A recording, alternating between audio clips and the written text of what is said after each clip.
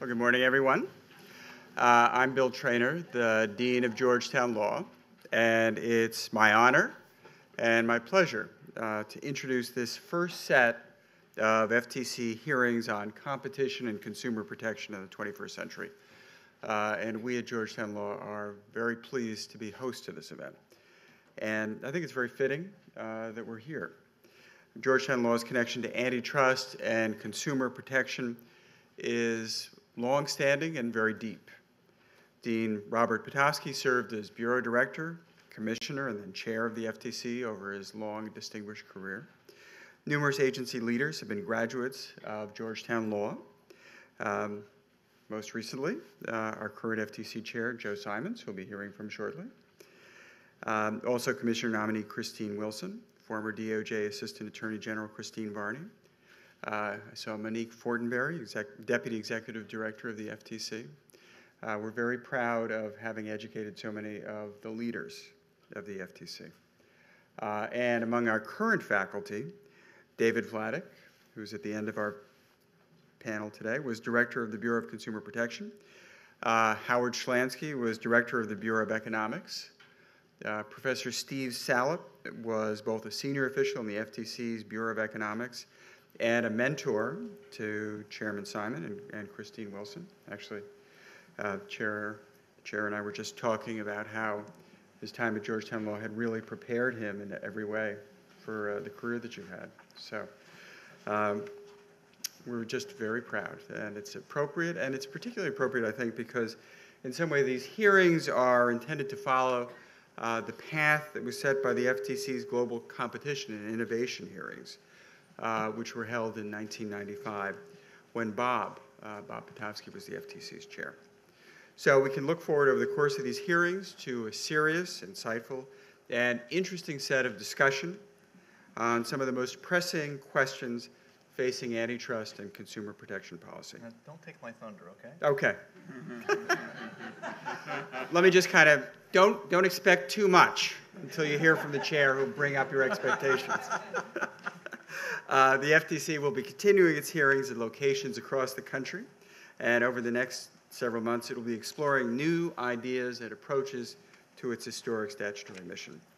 And for those of you who want to hear more about the antitrust issues of the day, right here at Georgetown Law, uh, our Global Antitrust Symposium, which is now in its 12th year and is one of the most uh, prominent antitrust conferences outside of the ABA's spring meeting, uh, will take place in this room in about two weeks. So thank you all for coming. Uh, I want to congratulate the FTC for its initiative and hard work in organizing these public hearings. And now I'd like to call to the podium the Director of Office of Policy Planning, Bilal Sayyed.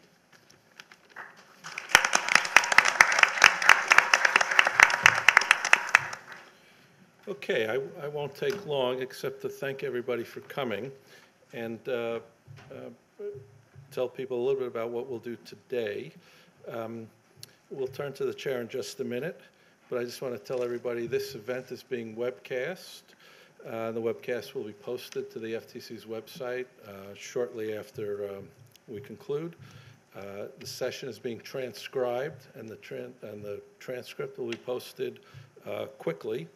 Um, tomorrow's planned session, excuse me, tomorrow's planned session has been canceled because of concern about the weather, but it will be rescheduled, and the you know, we'll make the effort to reschedule it here at Georgetown uh, fairly, fairly quickly. Um, some of the, my FTC colleagues will be passing out question cards. Uh, if uh, members of the audience have questions that they'd like to put to the panel, they should uh, write them on the card and uh, raise their hand, and we'll come collect them. Um, we have an open comment process, and so we encourage people to continue to comment. Uh, that comment process will be open through probably the end of February. Um, but uh, we encourage people to comment on what they hear today, both what is presented and what is discussed. Um, and then uh, all presentations made here will be posted on the website. And as I noted, the transcript of the session will be posted. Uh, so um, I'd say uh, with that, I'll turn it over to the chairman, and uh, he'll, he'll kick us off to get started. All right. Well, th- thank you so much, Bilal. Good morning, everyone, and welcome. On behalf of all of us at the Federal Trade Commission, I want to thank you for coming to the opening of our hearings on competition and consumer protection in the 21st century. Our goal is to make these hearings as informative, insightful, and consequential as possible, covering some of the most important competition and consumer protection policy and enforcement issues of the day. We believe that we are situated to do just that. These hearings, as has been discussed already, are modeled on the ones that were held back in 1995 by then Chairman Bob Pitofsky, who, in his opening remarks, said at the time These hearings are designed to restore the tradition of linking law enforcement with a continuing review of economic conditions to ensure that the laws make sense in light of contemporary competitive conditions. We intend to continue that same tradition with these hearings. We are very fortunate to have a large group of highly respected participants representing a diverse range of views, including academics, practitioners, enforcement officials, and representatives from public interest groups. And I am proud that we are opening the hearings at Georgetown University Law Center, where Chairman Pitofsky spent much of his career when he was not otherwise at the FTC, and where I received my initial antitrust education to a significant extent from Professor Pitofsky.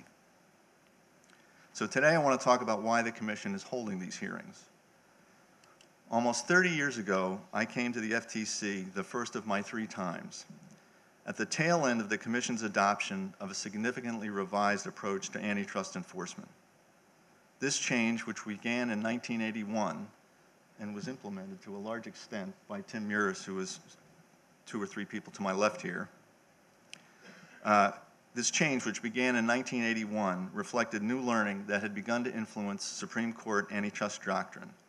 It was primarily driven by the scholarship of academics, the most prominent, Phil Areeda, Don Turner, Frank Easterbrook, Richard Posner, and Robert Bork, were associated with either Harvard University or the University of Chicago. They applied microeconomic principles to antitrust questions and paid attention to empirical work which led them to conclude that a lot of the pre 1970s antitrust case law was inconsistent with rational, pro competitive, and economically beneficial behavior. By the time I left the agency for the first time in 1989, application of microeconomic principles and economic models was routine and encouraged.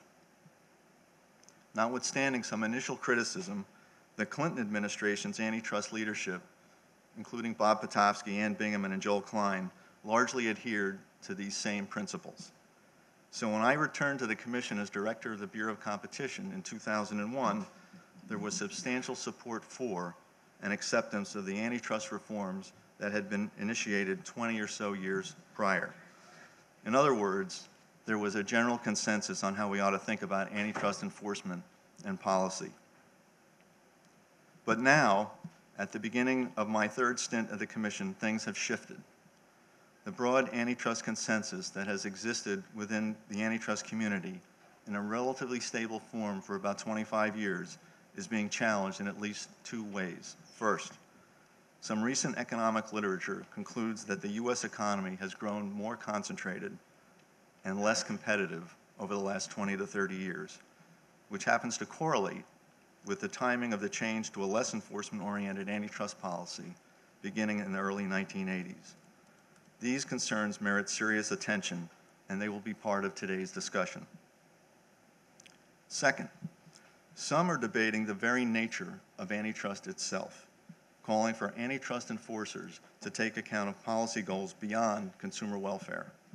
Inequality, labor issues, excessive political power are perhaps the main examples. We will discuss some of these suggestions during later sessions. These concerns raise a challenge to antitrust agency leadership, the courts, and legislators to think hard about whether significant adjustments to antitrust doctrine, enforcement decisions, and law would be beneficial to our country in order to accommodate these concerns. As I noted in announcing the hearings, it is important that the antitrust enforcement agencies be at the forefront in thinking about these issues, not bystanders to this debate. To that end, today and continuing through the fall and the early winter, we have invited interested parties to discuss these issues, both through public comment and public sessions with us and each other. We do this with the goal of understanding whether our current enforcement and policies are on the right track or on the wrong track, and if they are on the wrong track, what should we do to improve them? I approach all of these issues with a very open mind, very much willing to be influenced by what I see and hear at these hearings. I am old enough to have witnessed in my own career dramatic changes in antitrust policy and enforcement. These changes have largely been driven by developments within the economic community, which were then adopted by the legal community. The movement by economists, however, has not always been in the same direction. In the 1950s and 60s, a substantial body of empirical economic work purported to show significant antitrust effects, uh, anti-competitive effects, at relatively low levels of concentration. In 1968, the DOJ issued merger guidelines based on these studies. But just about the time the guidelines were issued, the economic studies on which they were based were being substantially discredited. As a result, the agencies over time raised the concentration levels at which mergers were seen as problematic. A more recent example where developments in economics increased the level of successful merger enforcement involves hospitals. In the 1990s, the government lost a large number of hospital merger cases in a row, and the agencies considered whether to give up on hospital merger enforcement. Fortunately, we did not. Instead, we engaged in empirical economic studies that demonstrated the anti competitive effects of hospital mergers, and we revitalized our hospital merger enforcement program. So, the developments in economics can suggest, depending on the circumstances, that our enforcement has either been too aggressive or too lax. This episode involving hospital merger enforcement really drove this point home for me personally. The use of economics should not be thought of as a one way ratchet, only driving down the level of antitrust enforcement. Good economics might, might point us toward more or less enforcement, depending on the facts and the analysis in front of us at the time. In my view, basing antitrust policy and enforcement decisions on an ideological viewpoint, whether from the left or from the right, is a mistake. Whether or not we expand antitrust beyond the consumer welfare standard, I would rather make policy and enforcement decisions based on the best evidence and analysis, including in particular empirically grounded economic analysis that enables the analyst to weigh the costs and benefits broadly defined to help determine the best approach. My hope is that these hearings will significantly improve our ability to do so and help to bring about a new and improved consensus among our antitrust stakeholders. But we are not focused solely on competition issues today or throughout the hearings. The strength and direction of the agency's consumer protection mission is also something that we are going to explore at some length at these hearings. Today, our most significant and difficult consumer protection issues often revolve around the use and abuse of technological capabilities not likely imagined during Bob Pitofsky's chairmanship. As a result, we'll, we will be having multiple sessions on data security issues, and our upcoming hearings on platforms, big data, and artificial intelligence will address consumer protection issues, including privacy, as well as competition issues. Before closing, I want to thank not only the participants in these sessions, but the many groups and individuals who have filed comments in response to our initial hearings notice. We have received over 500 non duplicative comments, many of very substantial length and thoughtfulness. We are reading them and considering them carefully. We expect more comments as we proceed, and I encourage those interested to comment on what you hear today and throughout the hearings. I also want to thank our co sponsor and host, the team at Georgetown University Law Center, for helping us pull this initial effort together. I also want to recognize the staff of the FTC for their efforts in both preparing for the substance of this event and undertaking all the logistics to bring this together. I and all the commissioners are grateful for the work of so many people, both within the FTC and outside the FTC, who are engaged in making this a successful effort. Thank you for attending, and I hope you enjoy the hearings.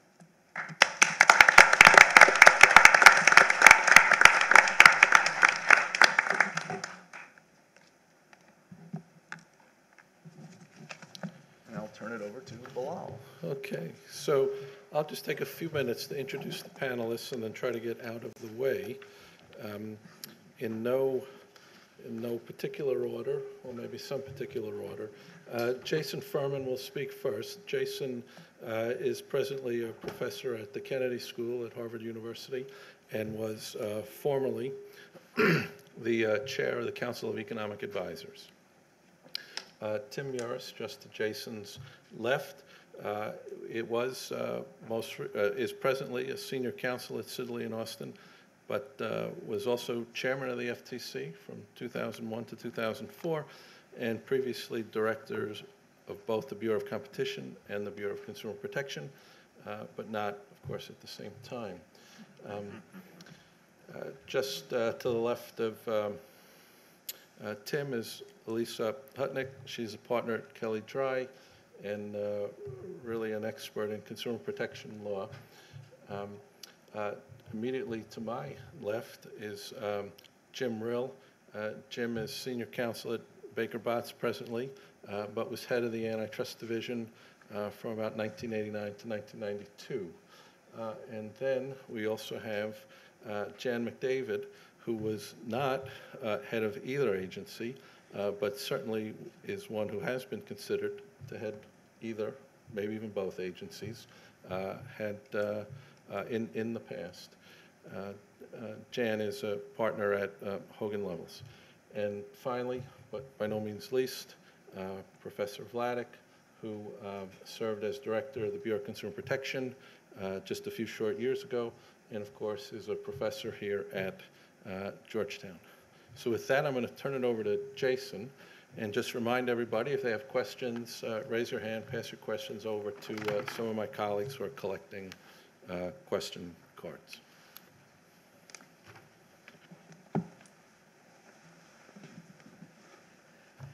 Uh, Thank you um, so much. And, and I thought uh, Chairman Simon's remarks were perfect in three respects. Um, one is you want somebody to be open minded coming to this question because thinking really is evolving very rapidly. Um, second, he had a really excellent capsule history of um, antitrust and thinking.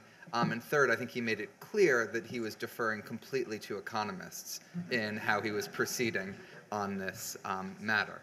Um, I'm a little bit of an interloper on this panel. I think I'm one of the only economists, and anyone that knows any economics would know I'm even more of an interloper um, than that because my main focus has been on macroeconomic issues, labor market issues, inequality, um, not on industrial organization and antitrust, um, narrowly defined.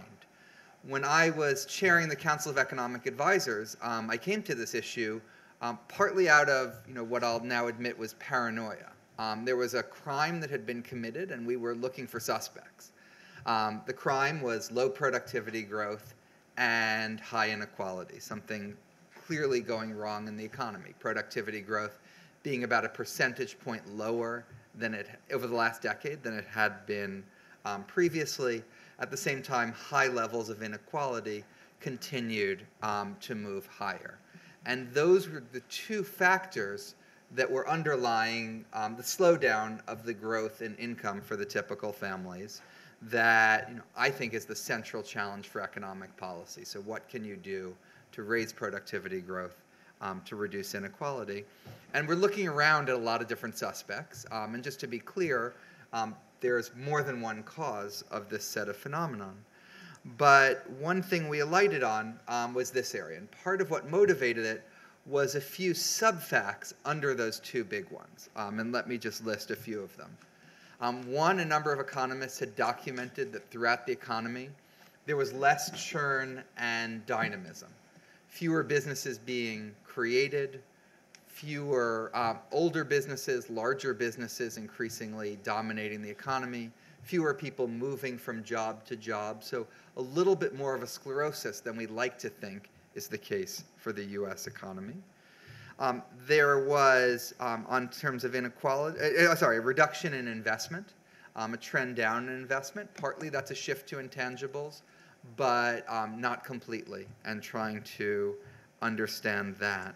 On the inequality side, there was a rise, a fall in the reduction, sorry, a fall in the share of income going to labor, and finally, an increase in markups and a rise in the rate of return to capital relative to the safe rate of return, and an increasingly skewed rate of return to capital, with some very successful companies having persistently very high returns, much higher than the median, relative to the median, um, than they had before. So this was a fact pattern about aggregate data that made us look beneath the aggregates in terms of what was going on at the firm and the industry level. Now, one way to look at what's going on in the firm and the industry level is to use um, aggregate, aggregate industrial data and to divide up the economy into you know, 10 industries, into 800 industries, and look within each one of those at what's going on in concentration. Um, and a numbers did that. A number of people did that. Grullon et al., um, Autor et al. We did at the Council of Economic Advisors, um, and you saw it in the press as well in places like The Economist. You know, generally find that in about 75% of industries defined in this way, concentration um, increased. Now, you know, as the antitrust community was quick to point out, um, there's some dispute as to whether it was 35 years ago people realized this was an idiotic procedure, or 50 years ago that people realized this was an idiotic procedure, but that these are in antitrust markets. Now, the people that put this forward from the very beginning, including ourselves, understood that. No one would bring an antitrust case based on these types of aggregate data. Everything has um, you know, pluses and minuses, but we're trying to look at economy-wide phenomenon and really needed to use economy-wide data because the type of relevant antitrust market analysis we have for some parts of the economy, and I'll talk about it in a moment, but we don't have it for all of them and can't really aggregate up, synthesize, um, and add it all together.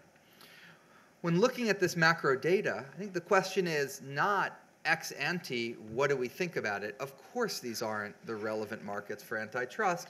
It's does it work? Does it help explain some of what we're trying um, to explain?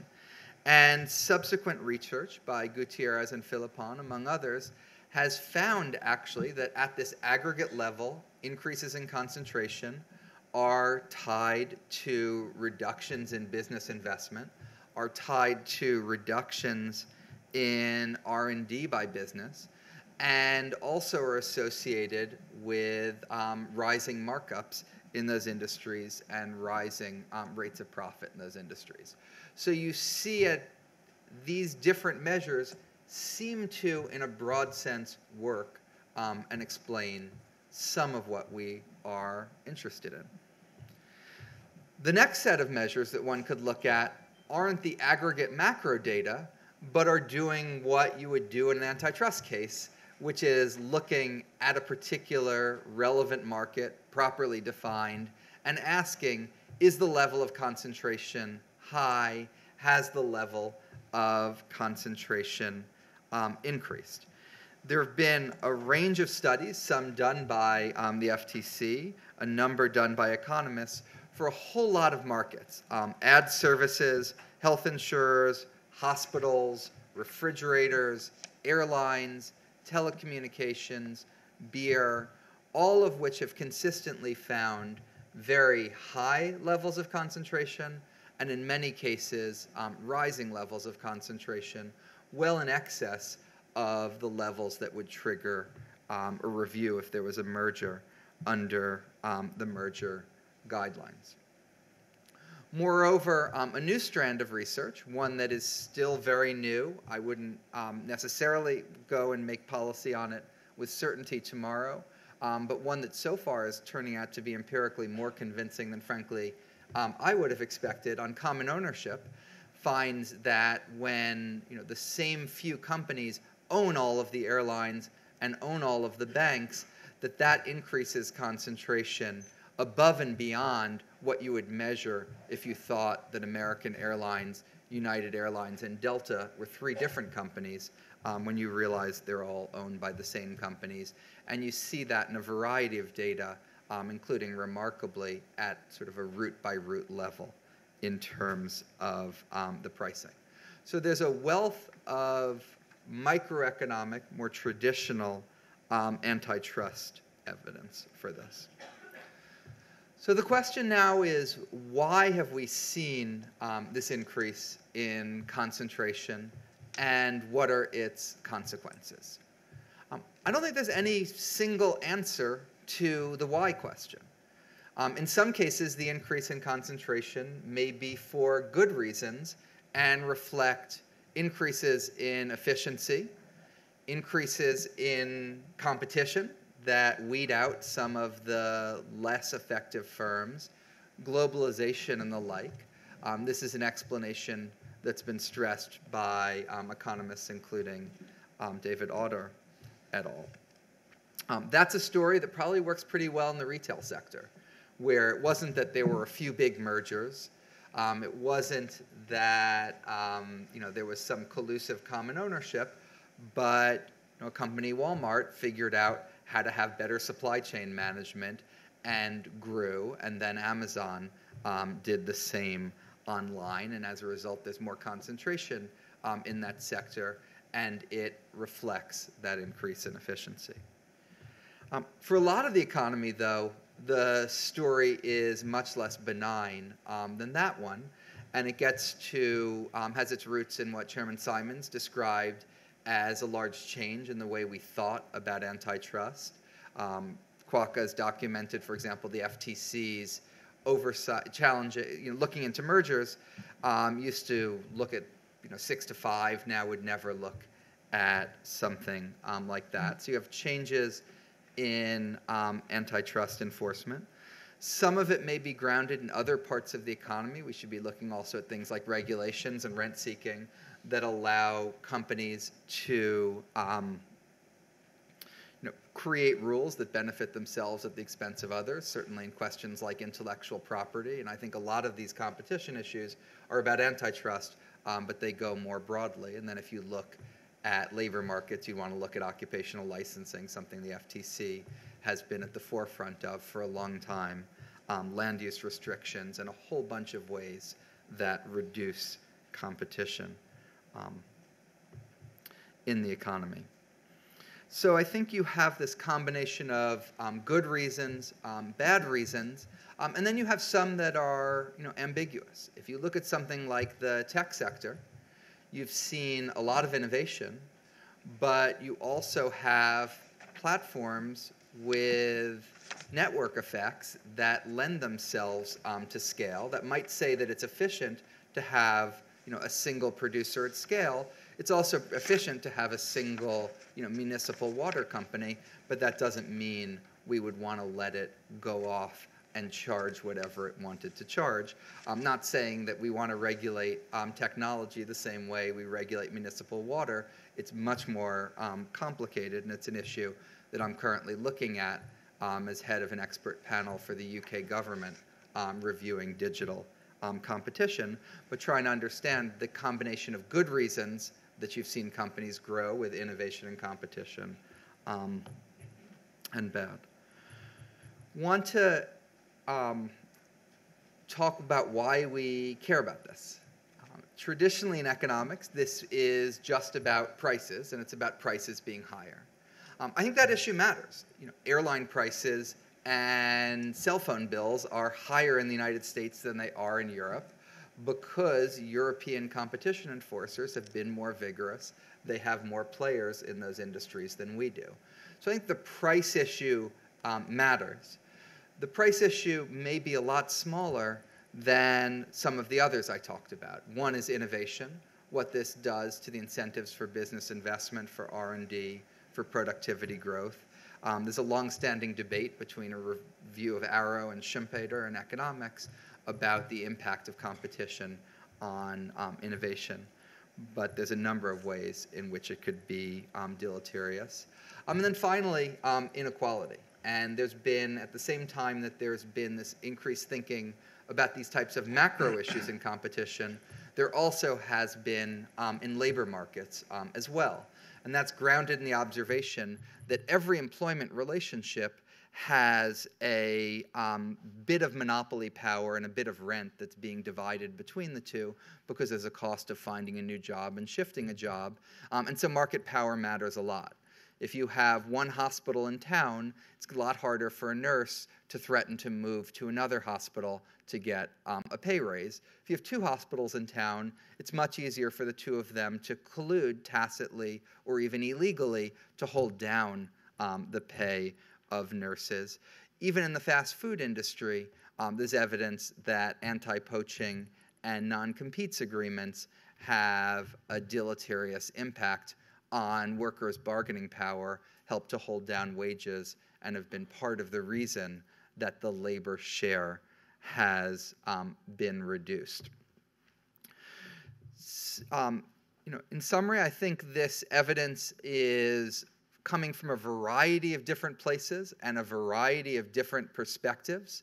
If you're trying to ask a question about the economy as a whole, you're not going to have one definitive data source or one definitive study um, that's going to answer that question. You have to take um, a collage of views. And I think that collage involves looking at the pattern of what we've seen um, in the data that I've talked about in terms of falling labor share, falling investment, um, rising markups. Looking at the in industry level and seeing whether those phenomenon are industry by industry tied to concentration, um, and they are looking in a deeper, more careful way where we can, and we can, we've done that in a lot of different industries. Um, and then no single story comes out of this, but on balance and on average, this does seem to add up to a reduction in competition, a reduction in dynamism, and one that I think that we need to be concerned about and think about what ways we need to update our policies to address if we want to have more investment, more dynamism, more productivity growth, less inequality, um, in addition, of course, to the traditional focus on lower prices for consumers. Thank you.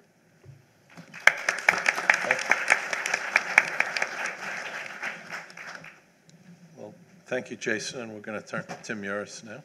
Uh, I will note that although Jason is the only economist on this panel, we have, if I count correctly, five economists, 100% of the panel, on our uh, second panel in the afternoon. So uh, we are trying to balance just about every uh, thing uh, in these hearings.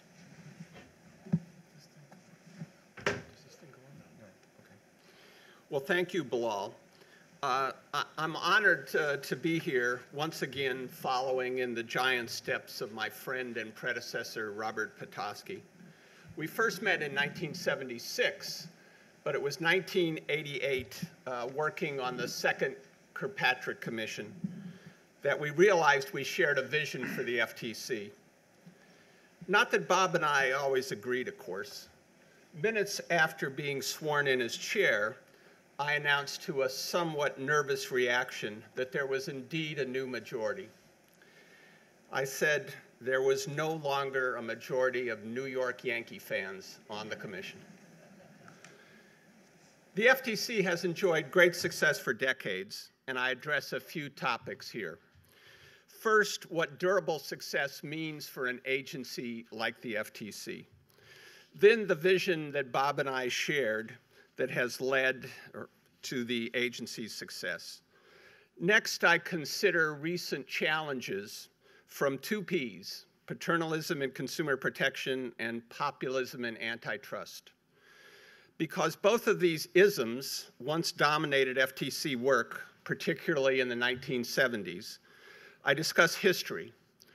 I lived through the 70s, and the decade was disastrous for the FTC. Nostalgia, expressed explicitly in recent literature, is misplaced. I have no desire to relive those years, and neither should you. I'm submitting a longer paper with lots of footnotes, uh, like lawyers do. Uh, uh, and I'll make a lot of assertions uh, for which those footnotes provide support. But starting with success, it has to be built on something more ephemeral than headlines. A definition that is less ephemeral starts with recognition that an agency needs a clear understanding of and support for its core mission among its constituents. Second, this core must derive from a vision clearly shared, not just today, but enduring, enduring through electoral cycles. Over time, perhaps decades, stakeholders adjudge favorably the core mission of successful agencies. Finally, a successful public institution needs a coherent strategy. The positive agenda must direct the institution at all levels, from the staff to the managers to agency leaders. Without a general strategy and positive agenda, an agency merely reacts. The FTC has such an agenda, the heart of which is to attack practices that harm consumers by hampering the competitive process and violating the basic rules of exchange. The FTC's success, in large part, reflects this shared vision. Take antitrust first. Until recently, antitrust reflected bipartisan cooperation.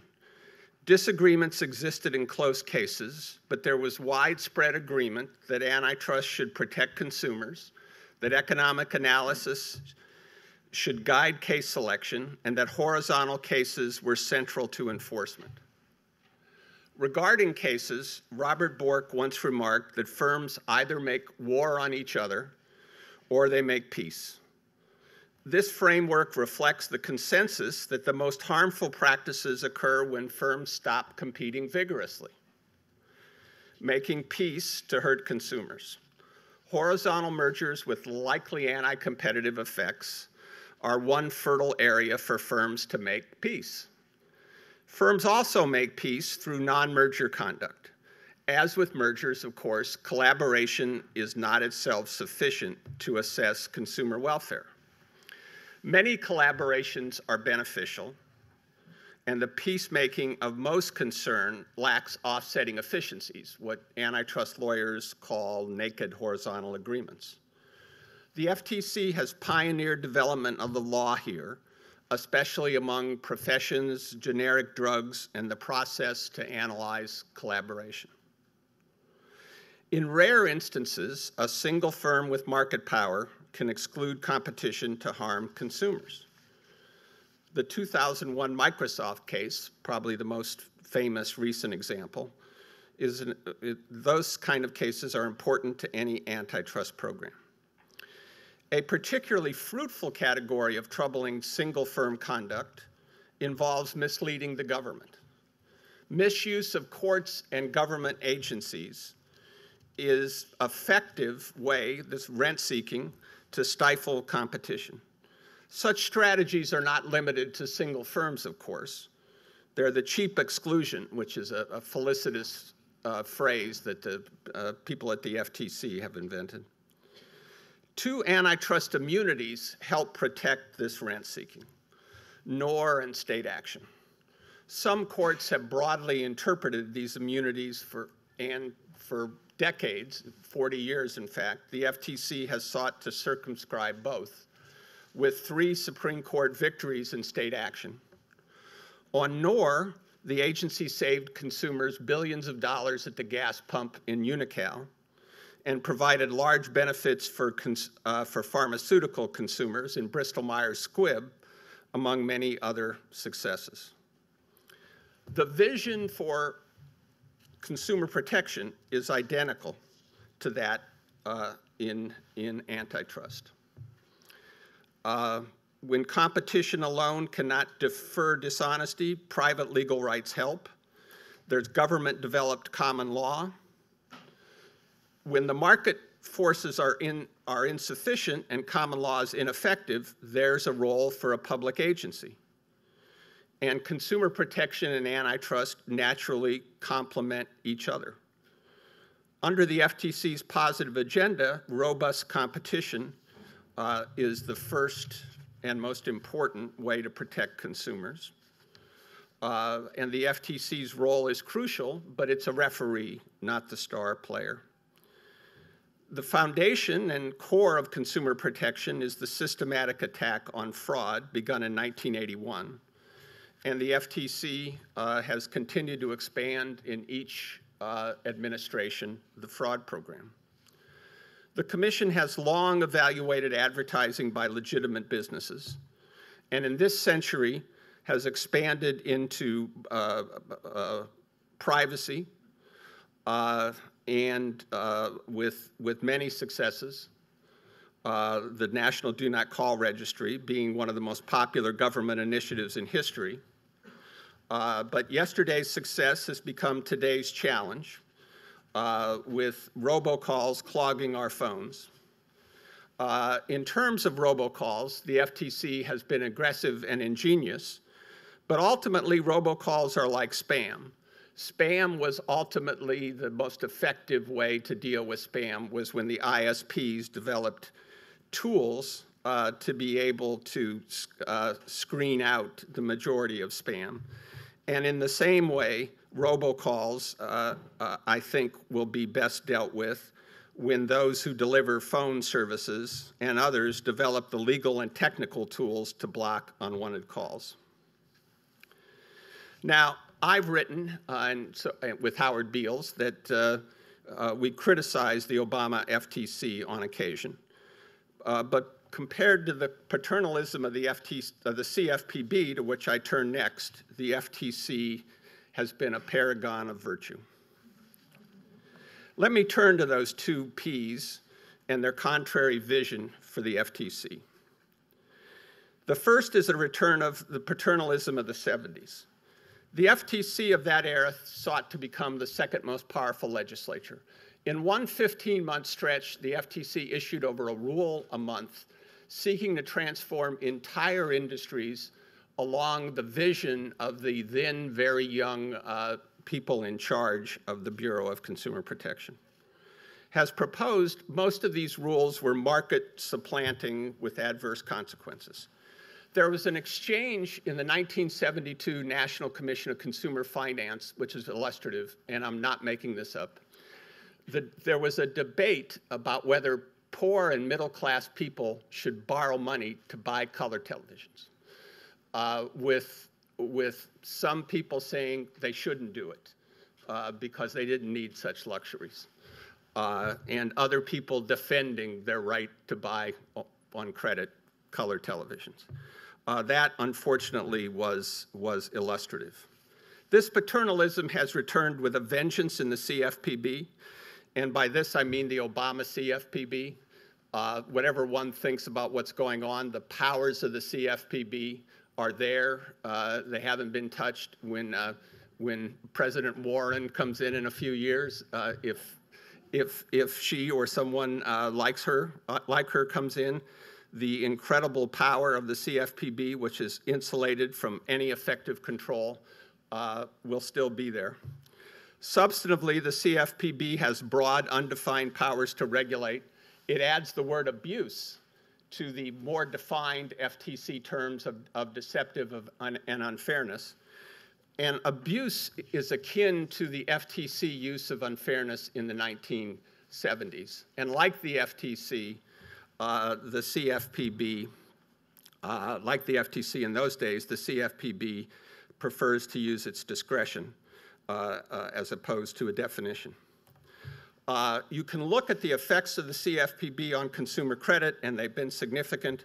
Uh, in the paper, I discussed the qualified mortgage rule and the criticism of the Federal Reserve on that rule in, in slowing the return of the housing market and the adverse effect, particularly uh, uh, on minorities.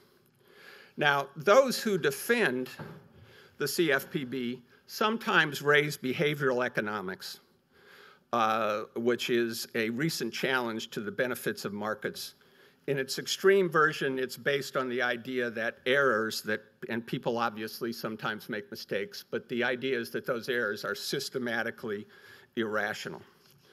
Uh, now, some people will tell you that normal economics assumes that consumers have perfect, perfect knowledge in our economic calculators. Well, I was schooled by those normal economists, and I learned about transaction cost and imperfect information uh, from those individuals. So I think that that parody of economics is simply uh, inaccurate. Moreover, there are numerous problems with using behavioral uh, uh economics. For one thing, the behavioralists don't agree on which biases they talk about are, are relevant. For another thing, there is not uh, empirical evidence uh, to support what they want to do. Uh, for yet another problem is that consumers invest uh, in, in various ways uh, to improve uh, decision making. Now, I'm not saying there aren't important papers uh, and empirical work here to be done. I cite a, a, an example in the paper of the credit card market where people do choose accurately and are learning from their mistakes. There are lots of papers like that in the healthcare market. I mean, in the credit market.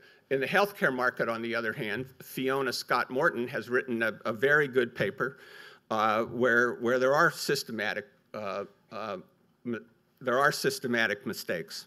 Now, I believe that healthcare markets are different, but I would hope these hearings and the FTC uh, pay attention uh, to those empirical issues. Uh, the second P, populism, is reflected in calls, and Chairman Simons mentioned this, on the left and the right to use antitrust to dismantle the highly successful companies, or at least the so called tech companies, or at least regulate them as public utilities. These are, are, are, misguided calls. For one thing, what a tech or digital company is, is hard to know. We have new technologies, but they're being diffused through the economy. Moreover, these companies have different positions in the market. Some have big market shares, some don't. Equally important, we've been down the populist road before with disastrous consequences. John Nuechterlein and I discussed some of this history in a new paper that John will discuss in detail later, and let me talk about the highlights. Before Walmart and Amazon, another company used the same kind of tools uh, to become the largest retailer in the United States uh, for over 40 years. This company was so important, company was the Great Atlantic and Pacific Tea Company, uh, that uh, John Updike, the young John Updike, used the company as the, the, title and the setting for his iconic short story, which every one of my generation had to read in high school. Uh, and the, what happened was A&P uh, success triggered a backlash, and the government went after A&P for two decades. First, they passed the Robinson-Patman Act, which embarrassed the antitrust world for much longer than two decades and took a long time for the antitrust world from which to recover. This new legislation was not enough. First, the government prosecuted the A&P successfully criminally. They still weren't done. They sued to break the A&P up. Uh, finally, uh, a new administration came in, the Eisenhower administration, and settled uh, for some uh, vertical uh, divestiture. Uh, the problem was this long war of attrition caused the leadership of A&P to focus on fighting the government, not on its new competition. And today, all that's left of the A&P are the, are the coffees. Uh, 8 o'clock, I think it's called 8 o'clock. Uh, and the company itself uh, uh is gone. Now, it's true that the FTC largely abandoned RP in the 70s, but there are two vestiges of populism that were strong at the FTC in the 70s, and the first was predatory pricing. There were three important cases, probably the most prominent of which was the coffee case. In the, in the, early, in the mid 70s, Procter & Gamble, then the most feared marketer of consumer goods, had Folgers coffee. Folgers coffee expanded into the heartland, into the east, into the heartland of, of Maxwell House. Maxwell House General Foods responded, massive price war benefiting consumers enormously. How did the FTC respond? It sued General Foods for responding against the, the best marketer in the world. Uh, I'm not making that up either. Uh, and there were and there were other such cases. And a call for return to predatory pricing is an important plank of the new populist agenda. Another bulwark of the 70s antitrust was reliance on the simple market concentration doctrine. And the concentration levels were levels that no one today would regard as significant. The prominent example was four, four firms with 50% share. Uh, this theory was sometimes married to a populist animus toward bigness, which led the Commission to seek vertical disintegration of the then very unconcentrated oil industry. Uh, and through 1980, the FTC was pursuing deconcentration long after the majority of the economics profession had dominated or had abandoned extreme versions of the market concentration doctrine. Well, let me conclude. With the creation of the CFPB, the FTC has another federal agency performing each mission. The original CFPB model, mirroring the 1970s FTC, contrasts to the modern FTC. Perhaps the regulatory world runs in cycles, but one hopes that the FTC will not be in a future Groundhog Day where it awakes each morning to 1975. In contrast, consider the current reform, in antitrust, I'm sorry, consider the impact of the current reformers who wish to return antitrust to focus less on consumers and more on protecting less efficient businesses. Imagine how the companies they would now punish would have fared in their desired legal environment. Once the newcomers had grown beyond a certain size, perhaps by the late 1990s, their lawyers would have counseled them to be cautious about expansion, innovation, and price cutting, lest they face antitrust liability for disadvantaging their less efficient rivals. Luckily, because this advice would have badly misstated antitrust law, lawyers did not give it. Let us pray for the sake of American consumers that such advice never becomes sound. Rather than condemn innovation, whether in the 1930s or today, we should applaud. Companies like the so called tech giants have been built from the ground up in the United States rather than in Europe or China, largely because the US legal environment is stable, predictable, and uniquely hospitable to vigorous paradigm shattering competition by all businesses. That legal environment is a hallmark of American exceptionalism. Long may it continue. Thank you.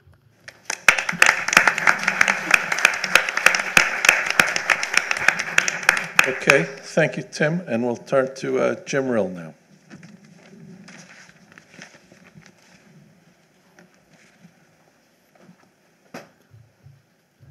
Thank you, Bilal. It's uh, indeed an honor to be here in uh, commemoration of uh, the work that was done by Bob Pitofsky and uh, leadership of the commission in 1995. Uh, and a particular honor to me, I go back uh, in relationships with Bob to 1969 when he was basically the author of the first Kirkpatrick report on the uh, Federal Trade Commission. And we worked together on the ABA, and uh, in 1992, he was a very important and direct consultant on the uh, 1992 horizontal merger guidelines. Um, so it's indeed an honor to be a participant in these uh, in these programs. I want to talk today about the uh, developments in the antitrust world that's created by the globalization of antitrust, which I think is one of the most significant developments in the competition world in the uh, last decade since uh, since the first Pitofsky hearings. I think the most important thing we can see is there's been a cascade, a tsunami of antitrust agencies across the world. In uh, 1995, there was a handful of agencies that had antitrust, and some agencies that had an antitrust law. Japan, uh, a gift of 1946, uh, really didn't enforce it. Now we see something like 130 or more agencies with an antitrust regime.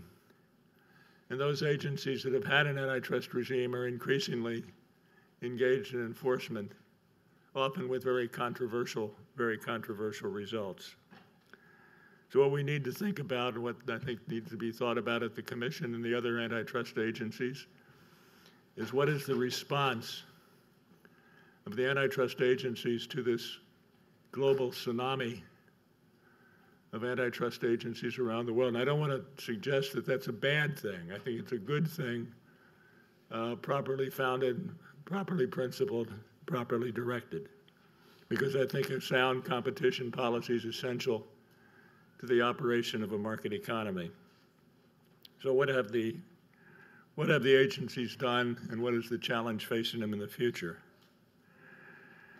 Um, the agencies were responsible, I think, uh, particularly the FTC and the Department of Justice in the formation of the International Competition Network. In 19, uh, 19 uh, in 2001, following on the report of the Department of Justice International Competition Policy Advisory Committee, the ICPAC, uh, that was put together in 1997 and uh, reissued its report in 2000. The International Competition Network was founded uh, on the uh, platform of the uh, uh, Fordham program in 1991 with uh, uh, 12 members. Tim Muris was very instrumental in putting that together. Now we have well over 100 members, 100 agencies that are members of the International Competition Network. And the ICN has been extremely important in producing guidance uh, that's based on market economics and due process for its member countries and uh, for other countries around the world. Essentially, soft guidance, but nonetheless effective and responsible guidance. Uh, the ICN has produced merger uh, notification and procedure guidelines, has put out uh, uh through its unilateral conduct working group guidelines on predatory pricing, guidelines on dominance. Um, most interestingly, I think, of the uh, work that the ICN has done in the area of procedural due process. And the uh, antitrust, uh, the, uh, the uh, working group, excuse me, the working group on agency effectiveness, which was headed, task force headed by the Federal Trade Commission. The work of Randy Tritell and Paul O'Brien has been extremely effective in putting out guidelines on, on due process guiding principles, noted, uh, uh, annotated guidance and similar documents. These are these are extremely important contributions that are made towards uh, convergence, if not harmonization, in the uh, in the antitrust world. Uh, similarly, the OECD, uh, again under U.S. leadership, has put out uh, uh, a protocol on hardcore hardcore competition.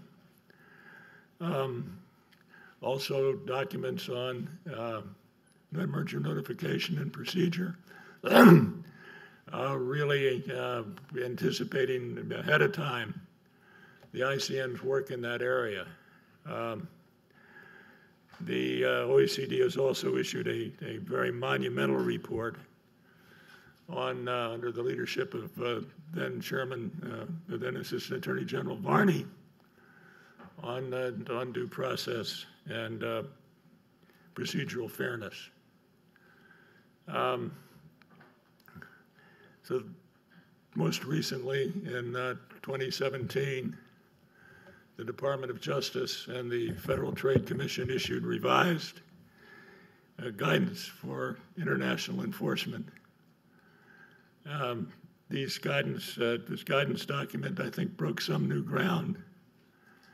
And, uh, and uh, providing for uh, the government's involvement and advocacy uh, across, uh, across the globe, that it would attempt to foment adherence to sound principles of not only process but substance, and would uh, and would advocate uh, advocate positions as the occasion arose in particular situations. Um, it extolled the benefit of bilateral agreements, which the United States uh, antitrust agencies have several, calling for cooperation in particular cases. It set forth principles of comity and established a principle that uh, criticized extraterritorial reach of antitrust enforcement, where that extraterritorial reach was not based on immediate impact, substantial, reasonably foreseeable, direct, immediate impact on the host nation, consistent with our uh, with our law, with our uh, legal principles in that particular area. Um, on the question of its advocacy, what we have is a fairly general statement, however, not one that gets into the specificity of when and how that advocacy might be best advanced and effected and implemented. And I think that's a challenge, as we'll indicate going ahead. The ICN, the International Competition Network, is uh, continuing its effort towards promoting convergence in substance and procedure uh, through workshops and similar efforts to bring about, uh, bring about convergence and harmonization and sound principles. Non governmental agencies as well, since the last time of the, since the 1995 uh, hearings, increased their efforts. The U.S. Chamber of Commerce has issued a ex- so called expert report. I say so called because I was on it, so therefore I got to be modest. Um, expert report on uh, due process and the way forward. Somewhat controversial in that it advocated the establishment of a uh, cabinet level coordinating committee for dealing with international antitrust. I think one uh, an issue that uh, I personally have some, although I was on the report, I have some skepticism as to its efficacy, although there should be more coordination among the agencies of the federal government. Um, the American Bar Association has had several task forces, several reports in this area, a due process report, and currently a program going forward soon to be, I think, uh, finalized uh, on a sort of a, if you will, not, not a not a report card, but a but a analysis of the implementation of due process. Uh, task force uh, headed by my partner uh, John Taladay and Melanie Aitken. Um, also, the uh, the ABA has presented soon to present a paper on the use of public policy issues in antitrust globally. That is the extent to which non antitrust factors flying under the flag of antitrust tend to adulterate, that's my pejorative, not theirs, I expect, tend to adulterate the, uh, the, the efficacy and substantial foundation for antitrust enforcement. Uh, the ICC, International Chamber of Commerce, has issued a report in this area that is of uh, significance and extols again the need for global consensus of fair procedures. Uh, so the, the private sector is active. Is it enough active? No, but increasingly active in this particular area. So, what are the challenges going forward? there are limits, I think, to the efficacy of soft guidance, of soft convergence. It's necessary, essential, but is it, but is it enough? Is it sufficient? Um, my answer to that is I think you need to go beyond it. There are uh, there's no structured mechanism right now for establishing, if you will, basis for evaluating the extent to which the guidance of the various international organizations and national organizations that I've referenced are being actually implemented and, and, and, and followed in the nations uh, around the world, including sometimes I might say the United States. Um, we see uh, actions in China involving a merger by Coca Cola, which uh, I think has questionable economic foundation, a denial of a transaction involving NXP, which had been approved by every other agency in the world on grounds that are difficult to discern any kind of link to true uh, to, to sound antitrust. We see in Korea an expanded reach for extraterritoriality in an area where there may be no effect whatever on consumer welfare in Korea. We see in Taiwan enforcement actions with no printed, published, and maybe not even any practiced sound standards for due process. Um, all of these issues, I think, are a challenge, a huge challenge to global antitrust, including the United States, uh, going forward.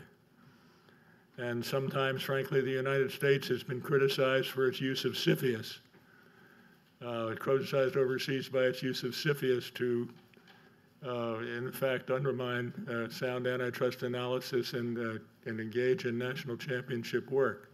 I'm not sure I agree. I don't agree with that in many respects, but I know it has been criticized overseas and recently. in a speech, uh, former uh, Director General, uh, former Commissioner for Competition of the European Union, Mario Monti, said that uh, Europe has much sounder antitrust leadership, foundation, correctness than the United States. Um, we have to we, we have to be aware of that and be and be sensitive to it. So what what should be the response going forward?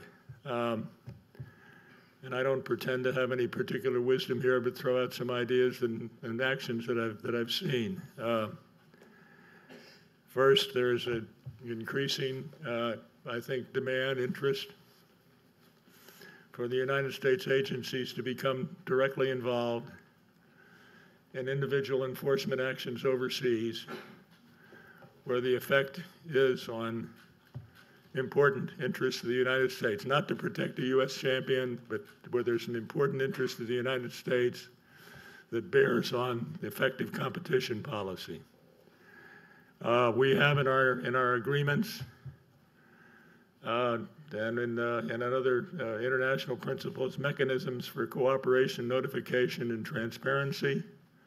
These these I suggest should be implemented. They have been implemented by the United States uh, in Boeing McDonnell Douglas, for example, um, the U.S. was very much involved in attempting to, I think, put on the say put on the right track the European Commission's analysis of that transaction, even to the point where this guy was an antitrust professor at Arkansas, I think named William Clinton, got involved in uh, lobbying before the European Commission uh, on that transaction.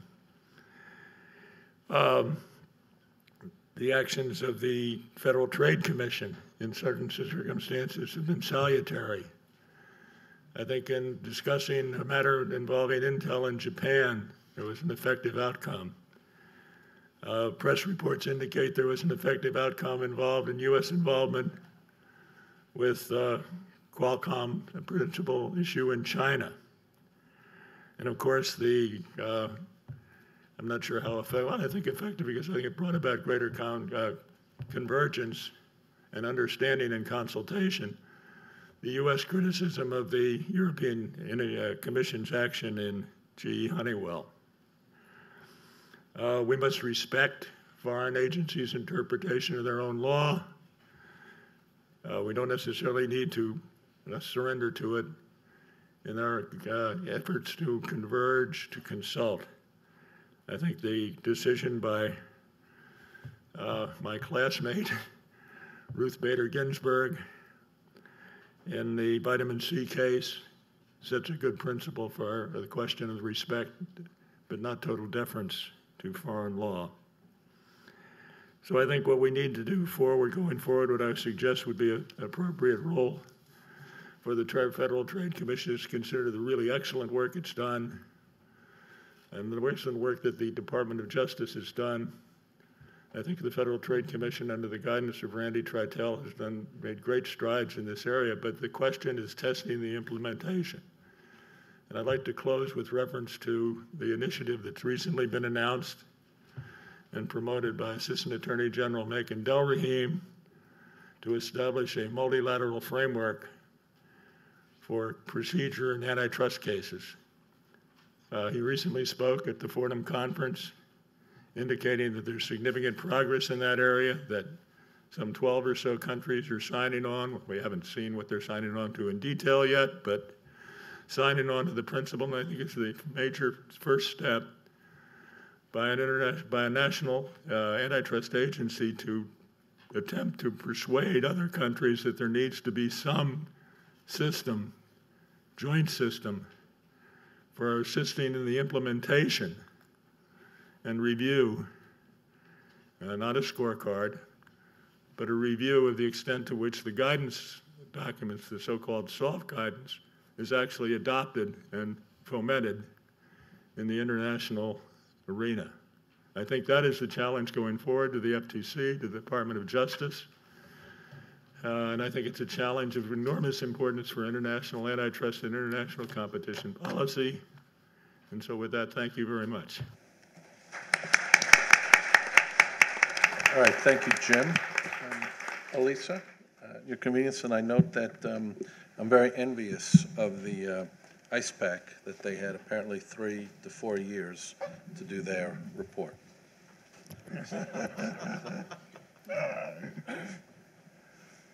has legs. So switching gears to consumer protection and privacy, um, and like most consumer protection lawyers, I have pictures. So I do want to first uh, strongly support the Commission's objectives for these hearings. Um, I'm a firm believer in that there is value in self-examination and being willing to both solicit and consider constructive feedback from constituents and practitioners inside and out. And indeed, from a similar process, the 1995 hearings positively shaped subsequent FTC policy and approach, and one would expect similar outcomes from these hearings.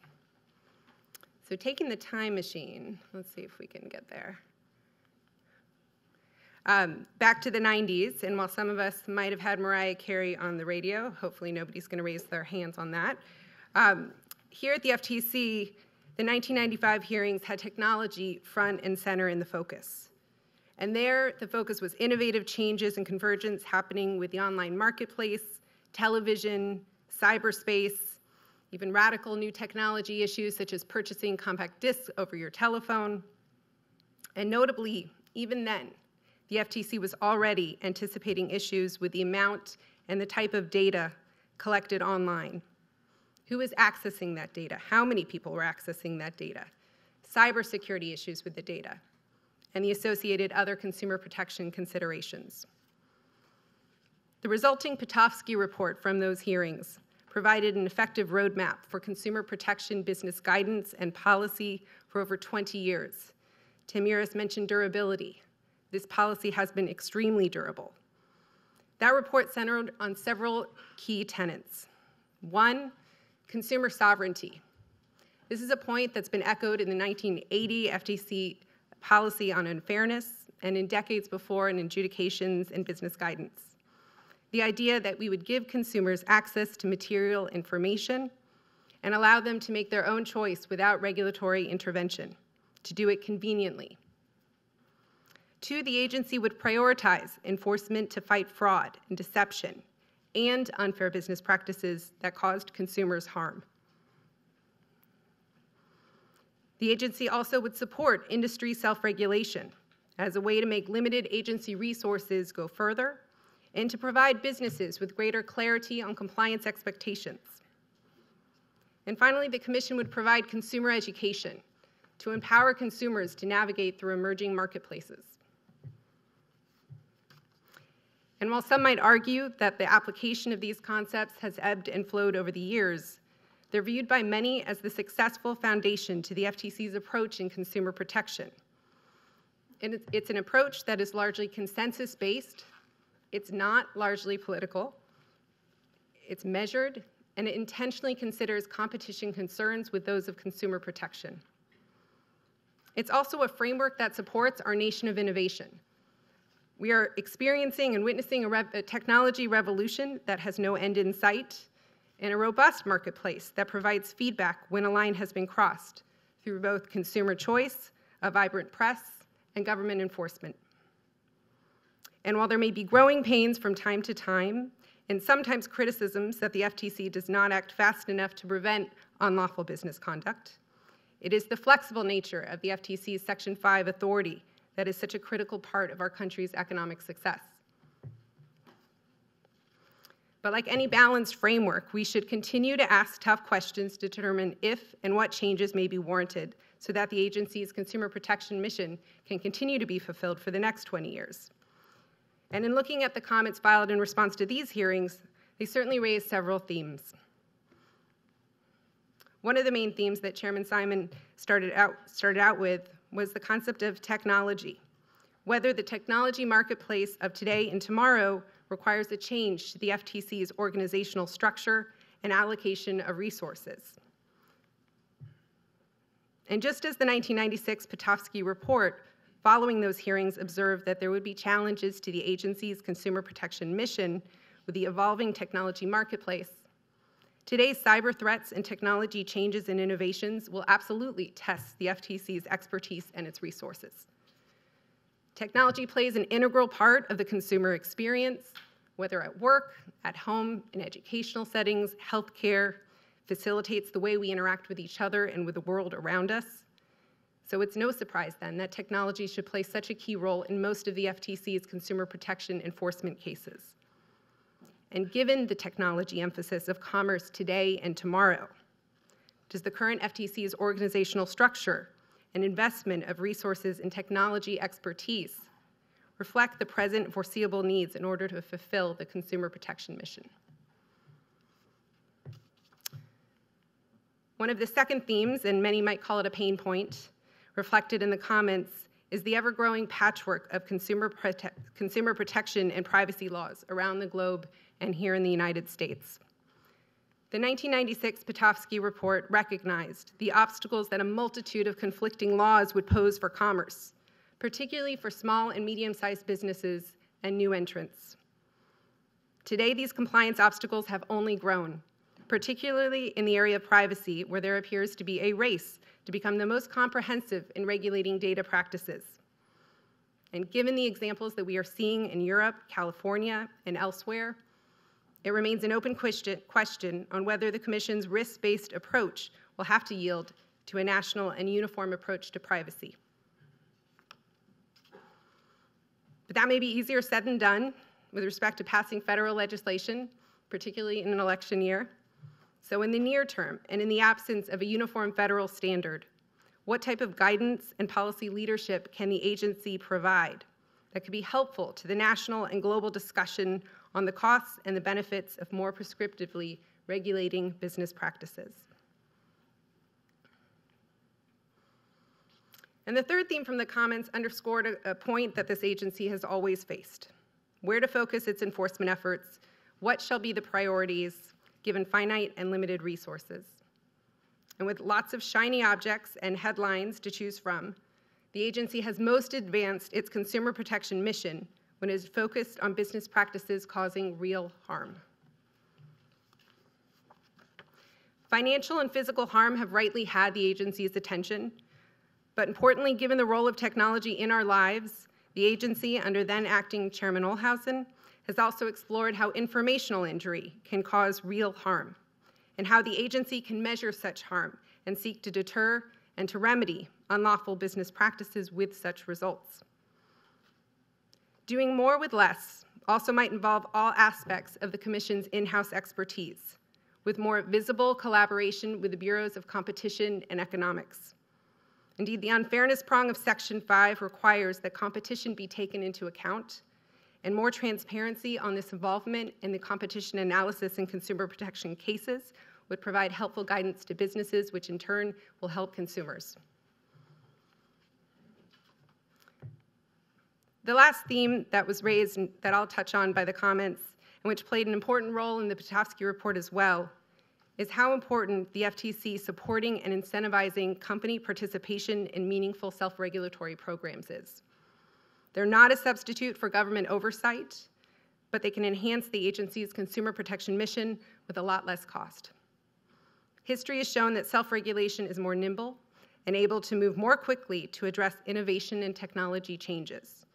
And when the FTC promotes the use of self regulation and incentivizes companies to embrace such standards, industry responds time and time again. And consumers benefit directly from this carrot rather than stick approach, incentivizing rather than purely focusing on punitive deterrence. So I will keep my, my comments shorter.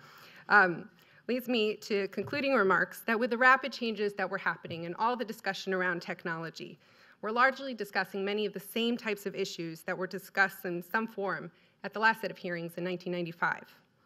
And as we hear from many voices during these hearings, I can say from my personal experience, working with startups, working with large companies, new entrants, those that have been around for decades, most companies are motivated to do the right thing while also remaining competitively viable. Straightforward laws that do not pick winners or losers, clear regulatory guidance, and vigorous support of self regulation enables companies to achieve those goals without unnecessarily fencing in opportunity or innovation. And for the fraudsters and companies that are bent on causing consumer harm, the FTC has its tools, existing tools, to address that. Thank you.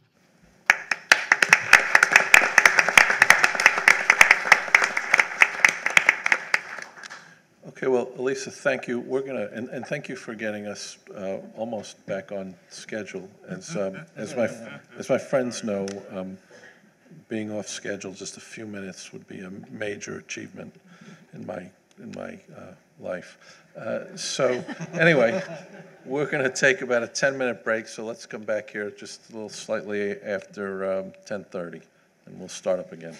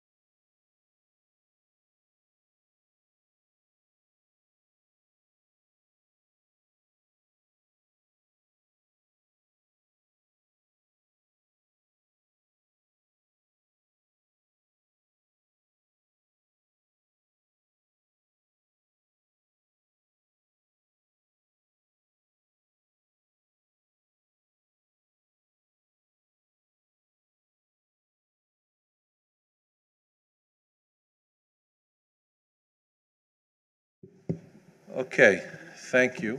Um, I just want to remind everybody that uh, we do have uh, some of my FTC colleagues collecting uh, question cards.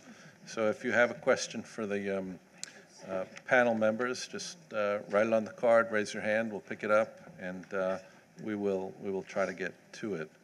Um, But before we turn to both sort of a panel Q and audience Q and A, uh, we're going to ask uh, separately both Jan McDavid and uh, David Vladeck to uh, both comment on what they've heard and honestly uh, comment on whatever they'd like to comment on. Um, But, uh, but I'm sure it'll be germane. So I'll first turn it over to Jan, and then I'll turn it over to David when Jan is complete. Thank you, Bilal. I want to applaud the Federal Trade Commission for again using its statutory authority to consider whether changes in our economy require adjustments in the FTC's enforcement priorities. Such hearings were part of the FTC's original statutory mandate and have been used very effectively throughout its history, most notably in the Pitofsky hearings that were discussed extensively this morning. I'm honored to uh, participate again, as I did in the Pitofsky hearings, and I'm returning to my antitrust roots here at Georgetown because my antitrust career started my final semester in law school at Georgetown when I studied antitrust law with Bob Pitofsky. Hearings provide the FTC an opportunity to step back and consider broad philosophical issues without the pressure of facts and time deadlines arising out of particular proceedings. That's a real luxury that most agencies don't have, and the FTC does. That kind of introspection allows the FTC to identify opportunities for improvement. It also offers an opportunity for democratic participation, which is one of the objectives recently outlined by Commissioner Chopra in his, part, in his paper last week. I speak here as a practitioner who advises clients every day on antitrust issues.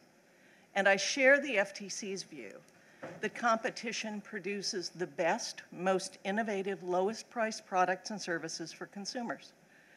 Most antitrust enforcement actually takes place in conference rooms in law firms and boardrooms in corporations where people like me advise our clients on where the lines are and how they can achieve their business objectives without crossing those lines.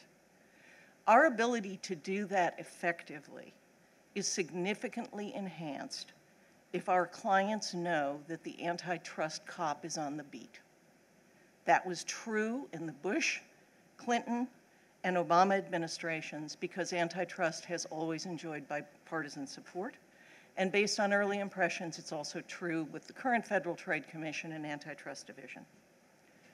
I've always viewed the antitrust laws as sufficiently flexible to adapt to changing market conditions, such as those involving the growth of technologies or foreign competitors. It also has been sufficiently flexible to be applied across a broad range of industries involving defense, healthcare, consumer goods, or technologies, which don't particularly have anything in common. The antitrust statutes, as they've been interpreted by the agencies and the courts in recent years, in the last 30 years or so, provide a framework that knowledgeable counsel can apply as we consider the unique facts brought to us by our clients. And of course, we also bring to bear the economic concepts that are so important to underlying antitrust analysis today. Over the course of my career, I've seen the development of sound antitrust doctrine rooted in a principled analysis, and above all, the positive role that economic analysis played, starting really with the Supreme Court's decision in General Dynamics, which was decided just before my final law school exam by Bob, and the GTE Sylvania decisions, and leading to various iterations, for example, of the merger guidelines. In contrast, one of my mentors, former FTC Commissioner Tom Leary, said that during his early career, when they would be defending a merger before the agents, they would say, God forbid it would achieve any efficiencies, because that was suspect in the 60s and early 70s. as I was trying to do economic, uh, antitrust research as a young lawyer and as a law student, I had a very hard time discerning any consistent thread through the cases I was reading. And that made it really hard to advise clients. That's not true anymore because we have a framework that lawyers and even our clients understand.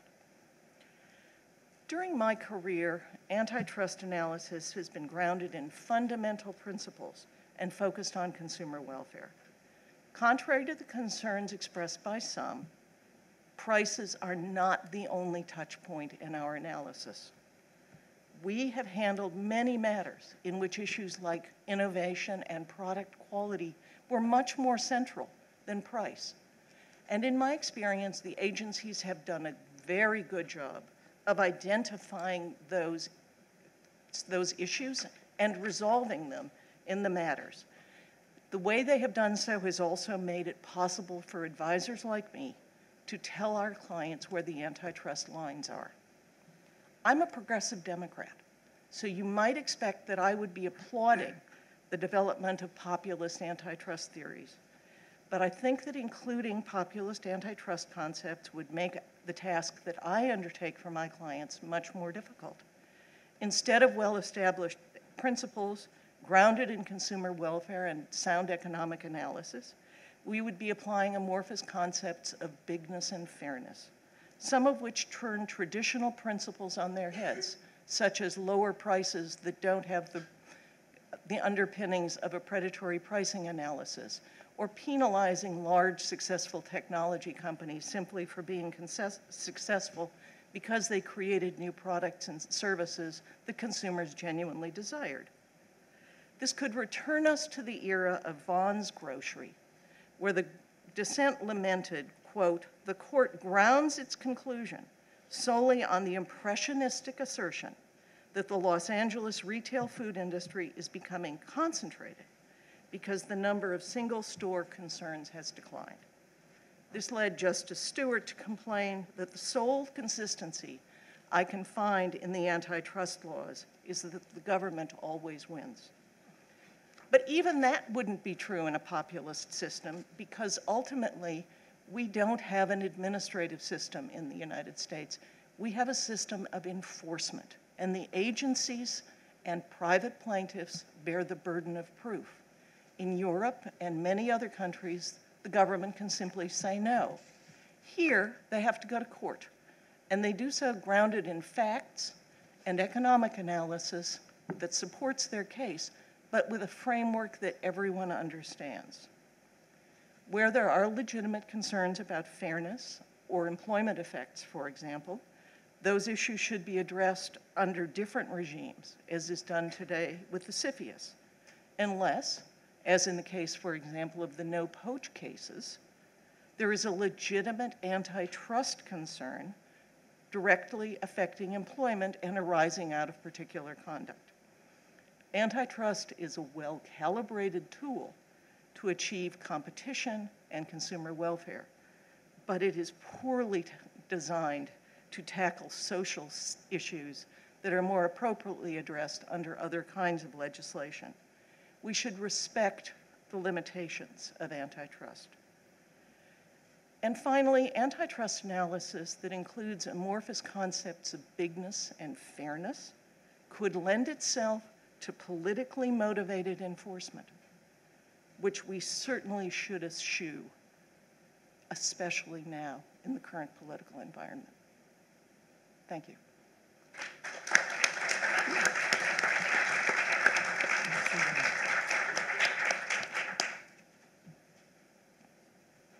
Uh, David, we'll, we'll turn to David now. Okay, thank you. uh, let me start by thanking Chairman Simons for holding these hearings.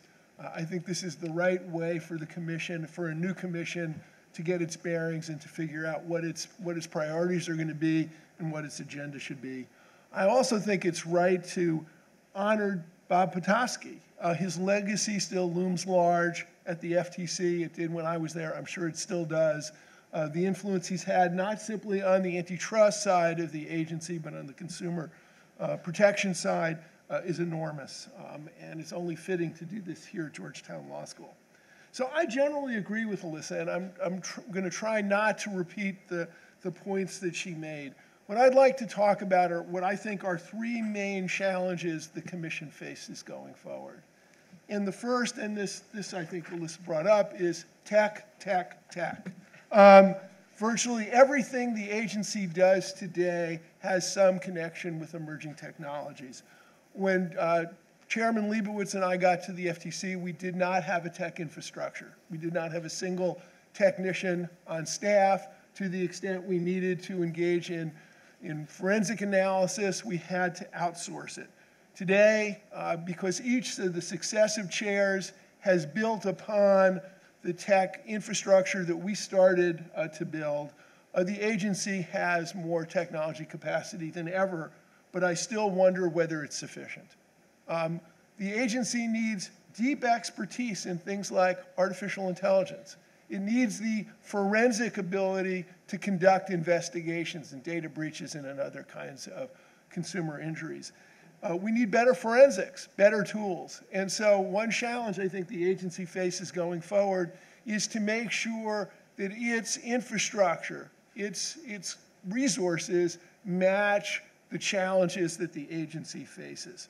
Um, so, I think that's one. Uh, uh, one of my former colleagues, uh, Kratmaker, Professor Kratmaker, suggested that maybe it was time that the FTC added a new bureau, a Bureau of Technology. I don't know whether that's the, the right way to address the technology deficits that the FTC faces, but that's something that ought to be considered. Second, the challenges of protecting consumers in a digital economy. Now, the FTC in 2012 issued a report that tries to set out a framework about how consumer protection matches the FTC mandate. And I think there's a lot of very valuable advice in that report. I would urge the new, uh, the new commissioners to dust it off and take a look because it provides, I think, a blueprint at least for dealing with some of the difficult questions the, the commission is going to face. For example, automated decision making. I'm not, I'm not necessarily a foe of artificial intelligence. After all, we all know that human decision making, eh, it's not necessarily great, right? but it provides all sorts of challenges for regulators. Uh, it's a black box system. You can't interrogate an, an algorithm. Um, and it, it can be a breeding ground for disparate treatment that is based on impermissible factors. And rooting out those kinds of problems is very difficult for the agency. Um, data driven offers and pricing. Uh, the marketplace is full of variable pricing uh, and variable offers. I mean, there have been challenges about Facebook's ads for housing and so forth. These are very difficult challenges the agency faces to ensure fairness in the marketplace. Um, and the lack of transparency in the algorithmic decision making process runs a real risk that at least some consumers are going to face tyr- tyranny by algorithm. The, the commission needs to figure out how it can be an effective regulator in this space. Uh, it, it faces enforcement challenges. Uh, yesterday, there was a New York Times article about the New Mexico Attorney General bringing a COPPA case and criticizing the FTC for not beating his office to the punch. well, COPPA enforcement has been a, a thorn on the side of the agency since apps were developed. The app market, you know, the app developer market is highly diffuse. There are thousands of people, you know, making apps, some in their parents' basement, um, and it's very hard unless you're going to carpet bomb the industry to have a, an enforcement regime that really works well. And now the agency has brought many, many COPPA cases and has done so against high profile, high profile, high profile violators. But that's a problem. And, you know, Alysa talked about the usefulness of self regulation. This is an area where we've encouraged self regulation. We actually detailed a lawyer to work out of our San Francisco office to be an outreach person to the app development community or encouraging some kind of self regulatory body. Uh, we didn't succeed. So there, there are some enforcement challenges that the agency faces as well that are magnified by outdated statutes that the agency has to enforce. Neither FCRA nor Gramm-Leach Bliley nor some of the other statutes that were enacted before anyone could envision a digital economy like this uh, need to be updated, and I would hope that, that the Commission can work with Congress uh, to do so. I think the lack of civil penalties in Section 5 cases has been a, a serious uh, lack for the agency, particularly in data breach cases. Uh, the RAND Institute has done a number of studies making clear that the economic incentives, particularly for box stores and other kinds of consumer facing companies, don't push hard enough to ensure robust uh, security defenses. That is, it's, it's economically rational uh, to, uh, to risk a data breach because the cost of strengthening one's defenses may outweigh it. Um, I think a, a, civil penalty availability in those kinds of cases would add a necessary deterrent um, and might help stem the tide of rampant ID theft. Um, I think we need to update the unfairness doctrine. Um, uh, you know, it's interesting because the unfairness doctrine face, seems to at least be interpreted by some to require some form of economic or economic like harm. But the statutory mandate of the FTC is to prevent unfair and deceptive practices, not try to remediate them when they take place. And there are many harms that are just not actually well remediated by money. I mean, for example, the Ashley Madison data breach. Uh, you know, this was a secret dating site. Um, well, marriages broke up, people committed suicide. This, these are serious harms that ought to be prevented. There is at least an argument that the unfairness uh, statement, as it's currently constituted, doesn't really take into account some of these reputational injuries that have been, you know, made possible by a digital economy. Uh, my last point is the regulation of big data. Um, there's now pervasive data collection. It's ubiquitous. In fact, the last bastion of privacy, our homes, is now yet another site of data collection. People have always on, always off devices. Uh, the Internet of Things, they're going to put sensors in people's homes. All of this, you know, is they, they serve useful purposes, but they involve enormous data collection. And we need to figure out how to protect consumers in this area of ubiquitous data collection. Uh, we don't have laws that really deal with this. Uh, the aggregation of data is, uh, is a real uh, sort of enticement to data thieves.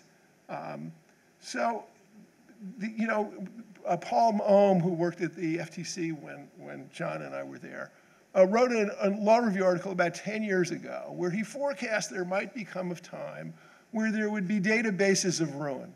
That is, that the data collection would be so ubiquitous that whatever fact that you would be mortified to have revealed to the public or to other people, um, that those facts will be in a database. Well, given the ability of, you know, of data sharing, data lakes, the ubiquitous movement of data, uh, there really is no answer to those questions now. And those are questions that the FTC has to address. We, we did, when I was at the FTC, we did a 6B on you know, the data collection by data brokers.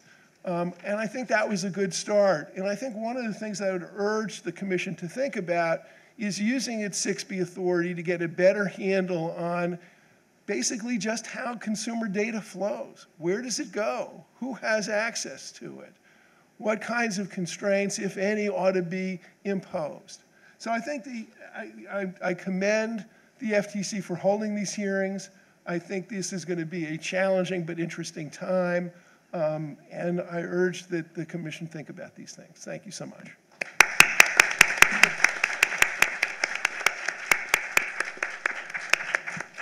So, uh, thank you, David. What, uh, what I'd like to do now is, uh, you know, I, I have a series of questions, and in uh, frankness, we've, we've shared them with the group uh, in advance. Uh, But, of course, they were prepared before I knew what anybody would say. What I'd like to do is first ask the panelists, maybe to ask questions of each other or comment on what, what others have said. Um, And, uh, and because he has to leave uh, at 11:30, um, uh, and in fact uh, squeezed us in uh, to do this panel, um, I'd, I'd like to ask Jason if he's got some uh, thoughts on what he's heard, particularly because he comes from this, from a different perspective or different background than, than the rest of us. And then I'll ask folks maybe to put some questions to Jason. Um, yeah, well, I guess we've heard two references to populist antitrust, and I'm not sure whether I agree or disagree with those comments. Um, if those comments are saying you should replace the current disciplined approach with a sort of woolly headed, if you don't like the company and you want to promote democracy and like ground your approach in something big and cosmic like that, um, then I certainly agree with you. If what you're saying is that, you know, there were certain papers written um, decades ago and those papers are still 100% correct and we should base all of everything on you know these tablets that were handed down and any change would be populist and barbarian um, then i think I, I quite disagree with that. Um, in fact even some of the assumptions and arguments that people like um, bork and posner and others made you know economists in io have long known um, that they were quite fragile and based on very specific assumptions that weren't very robust um, that the world um, was much more complicated. As you said, Janet, um, people do take into account a broader set of considerations, but um, you know, to some degree, you know, economists need to do a better job of understanding those broader set of um, considerations too. So I think this is an evolving area, as you know, the chairman said at the very beginning of the remarks. Um, I think that continued evolution is important. I think that if some of the macro evidence data and motivations that I said lends more impetus to that, um, I think that would be a welcome development and an important one. Um, but you know, I still would then use that to motivate. Um, you know, using you know micro market by market um, techniques to think about cases, not um, some of those types of macro data. But I don't think that's irrelevant in motivating us to, you know, push further and, and, and think harder about you know, ways that, frankly, enforcement has gotten more lax and that has had um, deleterious consequences for the economy. Well, uh, Tim, it looks like you want to react. Sure, let me, let, let me address the, the Chicago point uh, about the, the sacred texts. Uh, Bruce, Br- Bruce Kobayashi and I published a paper uh, subtitled "Time to Let Go of the 20th Century," uh, and When did you publish it? uh, 2014. Uh, I thought I think Bilal sent it to you. Uh, and what we said there, essentially, look, the way to think about Chicago is the way to think about the American revolutionaries. There was this revolutionary band of brothers, uh, but what they were, they were opposed to the old order, and the old order was overthrown. Uh, but once it came to running a government, you know, they split like Adams and Jefferson. Uh, if you take, uh, you know, a list, and we put this in the paper, Baxter, Bork, Bowman, uh, Posner, and Stigler, they, they either hadn't thought of or they disagreed radically on how to approach antitrust policy. Mergers, for example, those guys were all over the lot from the, you know, from the most aggressive Posner uh, to, the, to the most restrictive uh, Bork. Uh, and uh, the point was they just hadn't thought about it. Uh, and when they did, they disagreed. Uh, and so this idea, which is which is ripe in this populist literature, that there's this economic cult from the University of Chicago which dominates antitrust thinking, uh, is simply uh, inaccurate. Any, uh, well, I'd say any other reaction or any, anybody would like to put questions? to- to I, Jason? I agree with Tim, but I also agree, Jason, that there, this has to be evolutionary, and it's no, we, we don't regard them as the tablets that came down with Moses. Um, economic theory has evolved. We've had three iterations of the merger guidelines, and the ones we have in place now actually reflect how the agencies have been analyzing mergers for quite a long time. And they introduced new concepts such as unilateral effects analysis that weren't in the original versions. So we do evolve, but I, but I am very concerned about the inability to discern the consistent thread that I found when I was a young lawyer. And I'm very worried about how clients are going to have to handle this stuff. Well, Jan, since you've touched on merger guidelines, let me ask a question that I, that I have asked people to think about. Um, and this is not meant to reflect on a particular administration or not, but, but in 2010, the, uh, the uh, uh, previous administration revised the horizontal merger guidelines and, and changed the, uh, whatever you want to call it, um, uh, safety thresholds or presumption thresholds from um, an HHI of 1800, post-merger HHI of 1800 uh, being, under some conditions, presumed anti-competitive uh, to um, uh, a level, HHI level of 2400. And um, I, I, will say also, in, in, fairness, I think Tim Muris and I wrote an article suggesting that um, uh, some some change was was appropriate, and we may have landed at around 2,400. Um, but uh, let me put that out there. I mean, do, do people think the, uh, HA, the, the thresholds in the merger guidelines should be should be adjusted uh, uh, downward? Well, I, I, deal with the guidelines all the time, and my view of the HHIs is that they are useful as an initial screen to identify the deals that need additional scrutiny, and then they show up in the complaint if the agency challenges the deal as part of the basis for why they're doing so. And in between, we don't talk about them very much because we talk about competitive effects analysis. Where is, where is the real competition that takes place? And having numbers attached to it and squaring market shares creates a sense of precision about this process that simply doesn't exist in reality or in the way the, the guidelines are applied. So I don't, I don't think it's necessary. I mean, I, I, have clients who come to me and say, well, as I run the HHIs, we've got an, an 1800, and then I discover that they've defined the market in a way that the agencies would never agree with, and therefore the client has assumed something will be fine, when in fact, they're going to run into a real buzzsaw. The, look, the, the, the, guidelines do tell you something significant if you think, forget the HHIs and think about it. I heard John Baker give a good talk on this right after our, our retrospective analysis came out uh, when I was chairman. Uh, think about it in terms of the number of significant uh, competitors.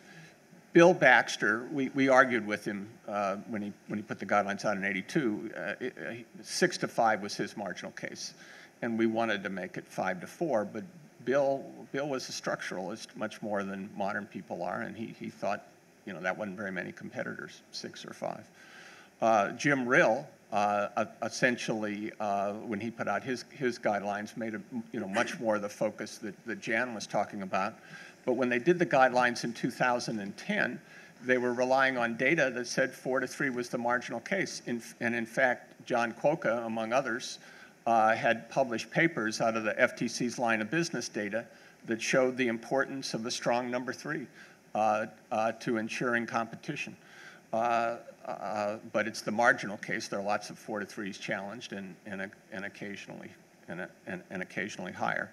But it, it, it, does turn on a lot of factors. But the number of significant, if you, if you want very simple tests, the number of significant competitors and how uh, uh, consumers react if they're significant business consumers, those answer to those two questions predicts a fair number of, uh, of, the, of the results.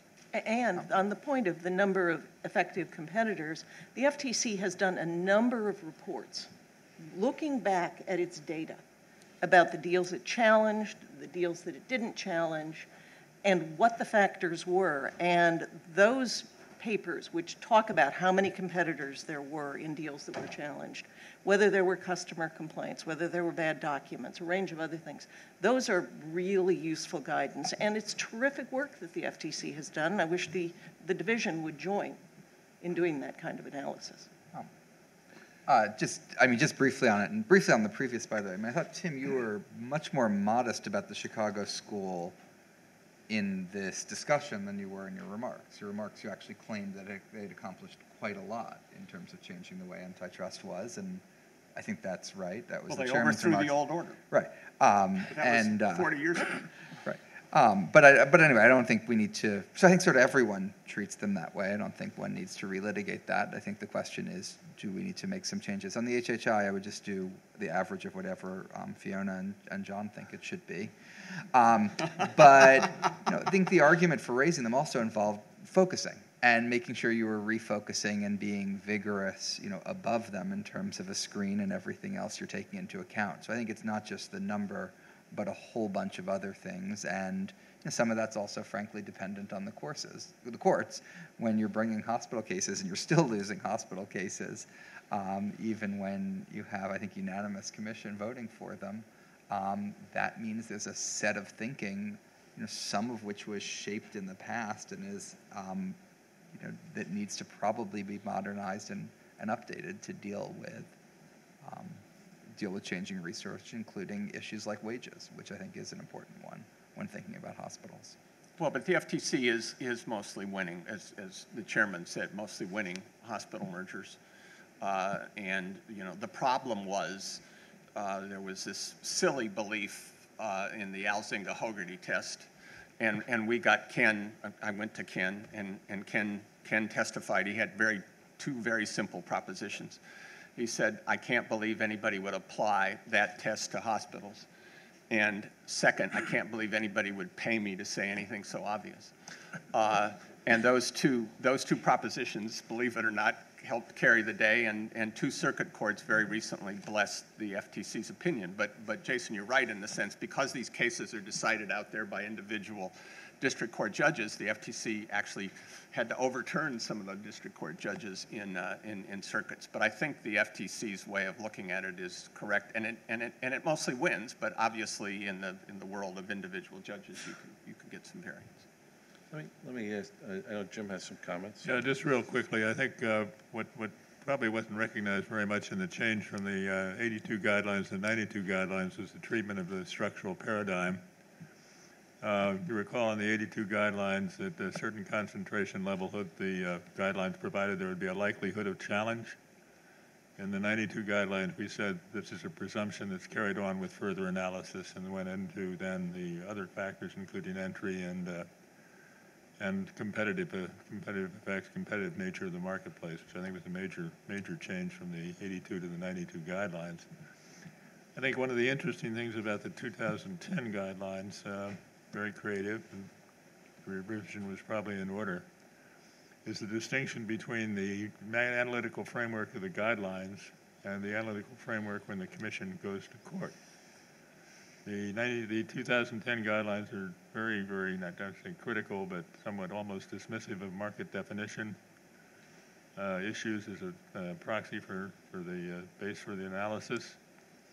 Uh, Shortly after those guidelines were analyzed, uh, the commission went to court, and if you look at its brief in the Polypore case, it doesn't appear that the 2010 guidelines existed. But they're very much the traditional analysis 82-92 approach. So I think there is a distinction that one has to draw between what the agencies do in their analysis, which is obviously extremely important if you don't want to go to court, and the practice that the agencies uh, uh, put into their uh, court their court pleadings, um, which uh, are more traditional because I think the judges have become uh, comfortable uh, and accepting the, the, the analytical framework of the 8292, uh, 82, 92 guideline approach. So I think there's a distinction there that we have to be aware of. Well, if I could, uh, I don't want to uh, forget the, the other mission. Uh, uh, con- con- Actually, the FTC is a bigger consumer protection agency than, in, in both uh, dollars and people than it is antitrust. And if you ever go out as an official, and, and we've got some here, and, and do an interview, unless there's a big antitrust case in the, in the press, the questions are overwhelmingly going to be about consumer protection. I, I, think David is 100% right about not strictly non-monetary protection. I- uh, as a young scholar, I wrote a couple papers about how contract law protects subjective value. But I'm not at all sure you need to revise the, you know, the, the, the unfairness doctrine or guideline. I, I- I think another speech would be useful because the FTC has protected uh, uh, that, you know, non-monetary, uh, as, as David mentioned. The first, the first security breach case that we brought when I, uh, and it was when I was chairman, uh, involved uh, uh, Eli Lilly, where what happened was a, a, non-trained, not just poorly trained, an employee who wasn't trained at all, managed to send out a list to the world of, I think it was 600 people who were taking Prozac.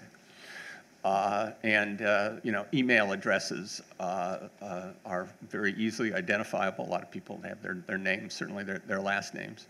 Uh, and uh, obviously, we thought that was that was private information that ought to be protected. And you could you could spin a case of of, of you know monetary loss, but uh, utility functions. When I talked about uh, those economists who trained me, Gary Gary Becker was one of them, uh, and he was one of the first to put other things in, in utility functions. Uh, and the FT, that's the way the FTC thinks, and and David's right uh, that the commission ought to stress that. Uh, I think you can read that in the, in the unfairness statement now, but, but, but certainly statements to that effect would be useful. Yeah, and, and, and to, to Tim's credit, Tim and Howard published an article that's a classic. I think a classic in Mark Twain's sense, uh, something that everybody talks about but no one's ever read. Um, but, but, but, but, but in it, but I did read it, and in it, Tim makes exactly that point, which is that the unfairness uh, statement ought to be construed to cover kind, the kinds of behavior that we would think of as invasion of privacy tort. Uh, but in fact, oftentimes when a bureau director brings a case like that to the commission, there's real pushback. Um, and not every commissioner, unfortunately, is quite as enlightened as Tim is on this matter. And so I think that going forward, some clarity needs to be uh, injected into the process, either through a revision of the unfairness statement or some declaration by the commission writ large that these kinds of harms are subsumed in the unfairness statement because um, there are some cases that Tim actually uh, raises questions about in that article. And, and the- result was, I think you said, was sort of hard to reconcile. The, the order was hard to reconcile with the complaint language. Cases like designer wear, Aaron's. Um, and that's because there was friction within the commission. And so we need some resolution of this issue because increasingly the harms that are caused through data breach, other forms of revelation of privacy information are not necessarily economic in nature. And the unfairness statement should simply make that clear, or the commission should make it clear in some other way. So I, I don't disagree. Well, I appreciate the fact that we, we had at least one reader. Uh, and, and, and, but, but I think may- may- maybe the solution is the next time the commission brings a case like that is, uh, is- is just to, you know, issue a public statement that, that, that interprets the unfairness doctrine. Or, or perhaps in these hearings and the Sure. report that comes out. Sure, good, another good yes. suggestion. L- Let me ask uh, Alysa, who uh, I think on, on this panel uh, counsels clients the most directly on these issues, if she's got some thoughts on, on this area.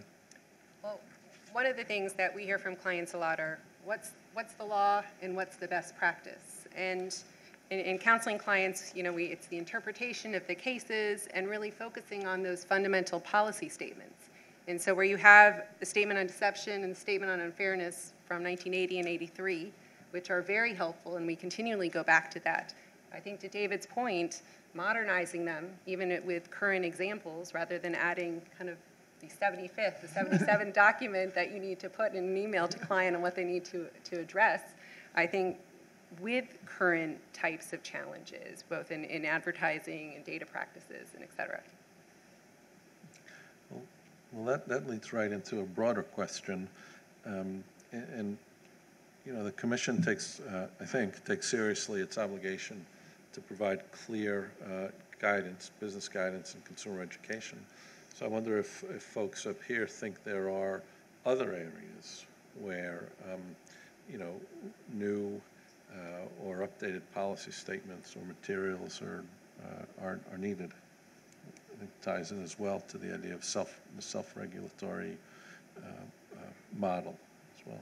So put that open maybe to David and Alysa initially, but of course, that is just as potentially true on the antitrust side. But Yeah, let me just make a quick comment, which is the agency spends enormous amount of time on guidance documents. When I was there, the endorsement guides came out, the green guides, 300 pages of narrative.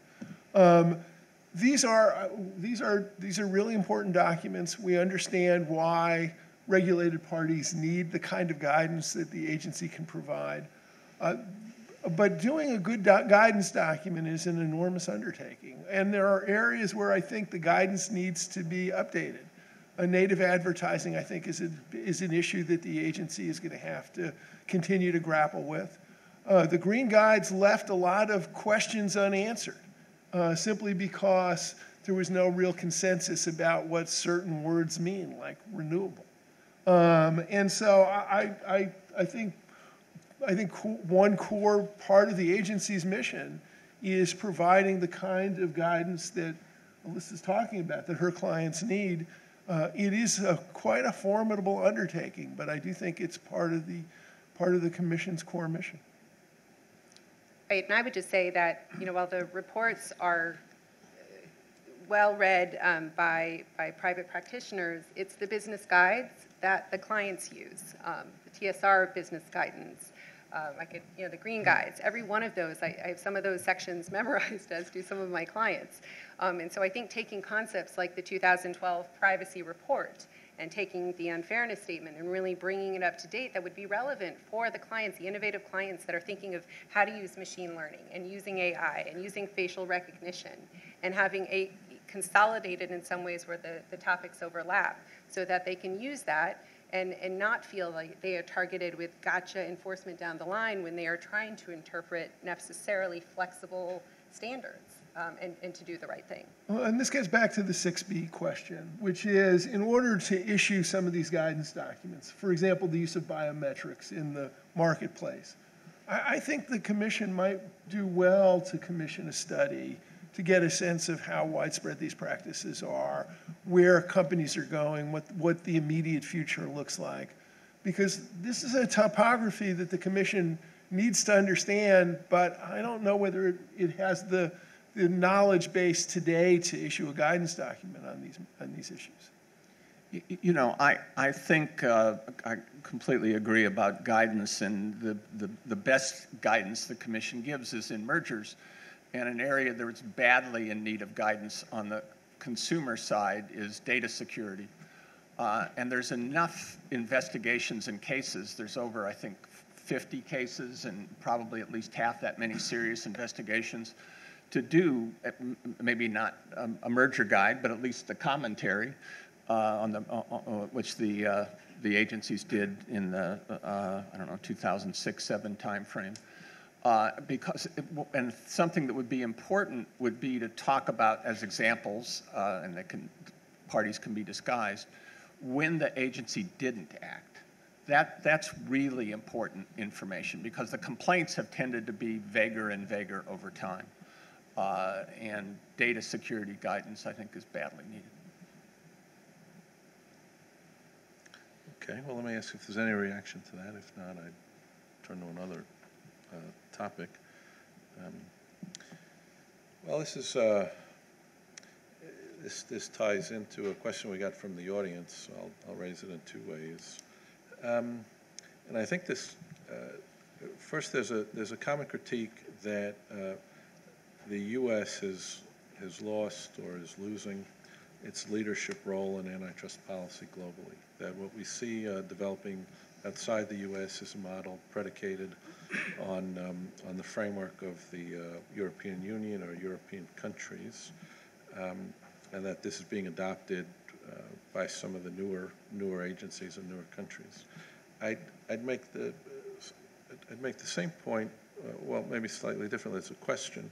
Uh, what, what can we learn from the, um, and, and is there a divergence uh, uh, between the U.S. and other agencies on the on the consumer protection side.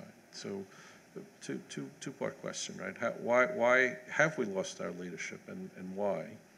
Uh, and then what, uh, what can we learn from other, from other agencies, uh, both on the competition and consumer protection side?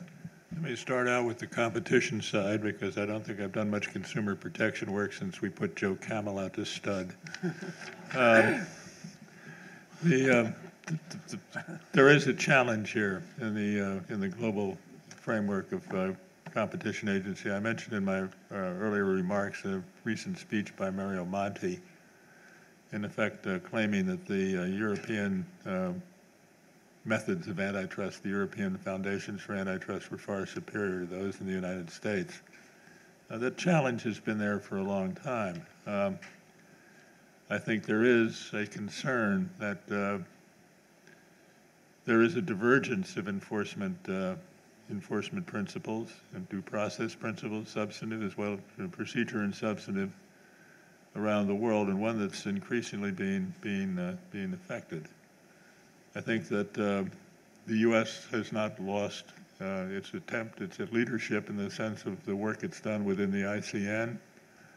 Uh, it's largely the U.S. Uh, pressure, for example, that put out the U.S. initiative that put out the uh, guidance documents on uh, due process through the Agency Effectiveness Working Group, U.S. leadership of uh, the Working Party on, Cooperation in the OECD, has had a profound effect and produced a major report on, on due process. So I think that we're, we're not running up the, the white flag anytime soon. I think it is responsible, uh, it is a responsibility of the U.S. in two areas to, to preserve, I think, leadership not only for, you know, it's not America first. Uh, America first sometimes could be America, you know, not there.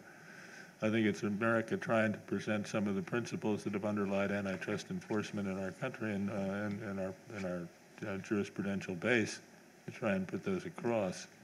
I think two, two areas where this can be done is continuing the uh, guidance through the international organizations.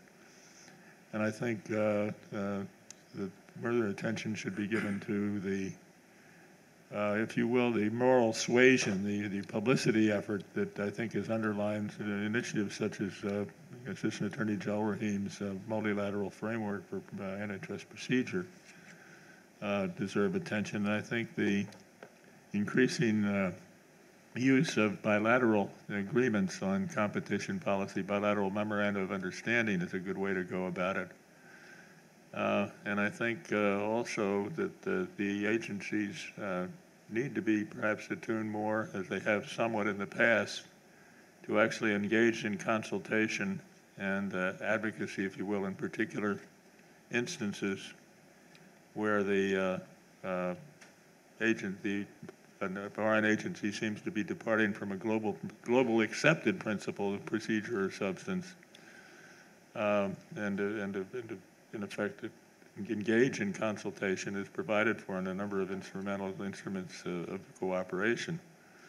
I think those are important. I think that the final point that the agencies need to be concerned about, the United States need to be concerned about, is the problem sometimes of an agency action uh, being misused uh, by a foreign agency to say, well, you're doing it, so we can do it. And there's a lot of uh, copycat misuse of U.S. agency. We need to be, U.S. agency need to be conscious of the risk of that copycat. Recent article by Koren Wong-Ervin, Josh Wright lists a number of areas where that's happened, following up on some, actually some consents uh, being used as an expression of law. Bosch, for example, um, Motorola Mobility Google Motorola Mobility by foreign agencies as well. The U.S. This is an expression of U.S. law. They misuse that and uh, and have that as a copycat for the misapplication of, uh, of antitrust law. I I, wanted to uh, take that and ask Jason uh, uh, a question. I know he's doing a lot of work on artificial intelligence, and I, I, I assume big data is a part of that. And uh, Jason, is what's going on overseas, is that important for the U.S., and what should the, what should the FTC do about those issues? Um, I can tell you the answer in like six months. Um, but for now, I mean, I think a lot of the issues around big data, the, I think the big empirical question that I don't know the answer to, I was talking about before, is if you think there's diminishing returns to data, then you're a lot less worried about it than if you think there's some region of increasing returns. And there's some you know, people that do computer science that say with machine learning, when you get past a certain point, you get to this place where you can you know, do the AI in a certain way that you couldn't do um, before you get to that scale. Um, if you have that, then you think you have, do have to start worrying about data becoming um, a barrier to entry that there will be some you know, large economy to scale in the machine learning um, AI space, and that you, know, you have to try to look at issues about you know who owns data, for example, and something consumers may um, you know overlook and not fully understand, and have those property rights defined um, more properly. Um, you know, on the other side of the argument, the you know in a world where you think it's intangible, um, you know capital producing things rather than tangible capital, it makes it easier to enter, and anyone can you know come up with their little computer algorithm um, and enter the market. So I think this question of is it just a really you know cheap the you know AlphaGo um, reinforcement learning, the latest iteration of it that DeepMind did, isn't that long or complicated a program doesn't actually use any data. It just plays itself and generates the data. Um, you know, anyone in this room could have done it, although none of you did, including me. Um, but uh, you know, so if, it's, so if technology is like that, then I think we don't need to be that worried. Anyone in a garage can do it. If technology is this increasing returns to data, then I think we do need to be more worried. And I, I don't know which, so I apologize. Thank you. Well, I'll, I'll, I'll use that as a plug. Um, we are doing uh, two days on big data at um, uh, American University's Washington College of Law in early November, and two days on uh, AI, uh, artificial intelligence and algorithms at um, Howard University's uh, School of Law in the middle of November. So maybe you can come back. That'd be great. I mean, just to be clear, algorithmic collusion is a whole different issue from the yes. big data one and another. That, ex, ex, ex, exactly, although we are having some difficulty separating out the people who do one or the other. But, but, but, but, uh, but anyway, no, no, we, we're going to devote a lot of time to it. And that was a key, um, um, uh, you know, one of the things the Pitofsky report did was just sort of think about things that were going to come up over the next 5, 10, 15, 20 years. And that's part of what we're doing on, in, in, in, in that space. Um, let me, uh, let me, uh, Jason, because you have to leave, um, I, hope this doesn't put you on the spot, but I, I wanted to raise it since you are doing some platform-related work, since you mentioned you've been doing some platform-related work, uh, to, to go back to merger law, and, and you may have less familiarity with the doctrine, but, but get your thoughts on this. Um, you know, how should we think about uh, acquisitions of um, you know, new technologies by uh, established players. Sometimes we use the term nascent competition or nascent competitors, um, but it's it's a it's a it's something we're going to spend uh, at least an afternoon on, and maybe while you're here, uh, yeah. you have some thoughts. Um, yeah, no, absolutely, and uh, you're, you're creating a real incentive to leave panels early. I think I'm going to do it from now on. Um, it's working out really well for me. Um, I think that's a that's a really important issue. I think there's a sort of longstanding view that everything in technology is evolving so quickly that there's no point in forcing anything because by the time you do, you know, it's changed and there's some new competitor and you know MySpace has disappeared or Internet Explorer has been dethroned or whatever else. Um, I think there's something to that. I think there's a lot of irreversibility too, though. It's easier to stop an acquisition now and change your mind five years from now and allow it than it is to take a company that's already acquired and split it up. Um, the second is, is basically impossible.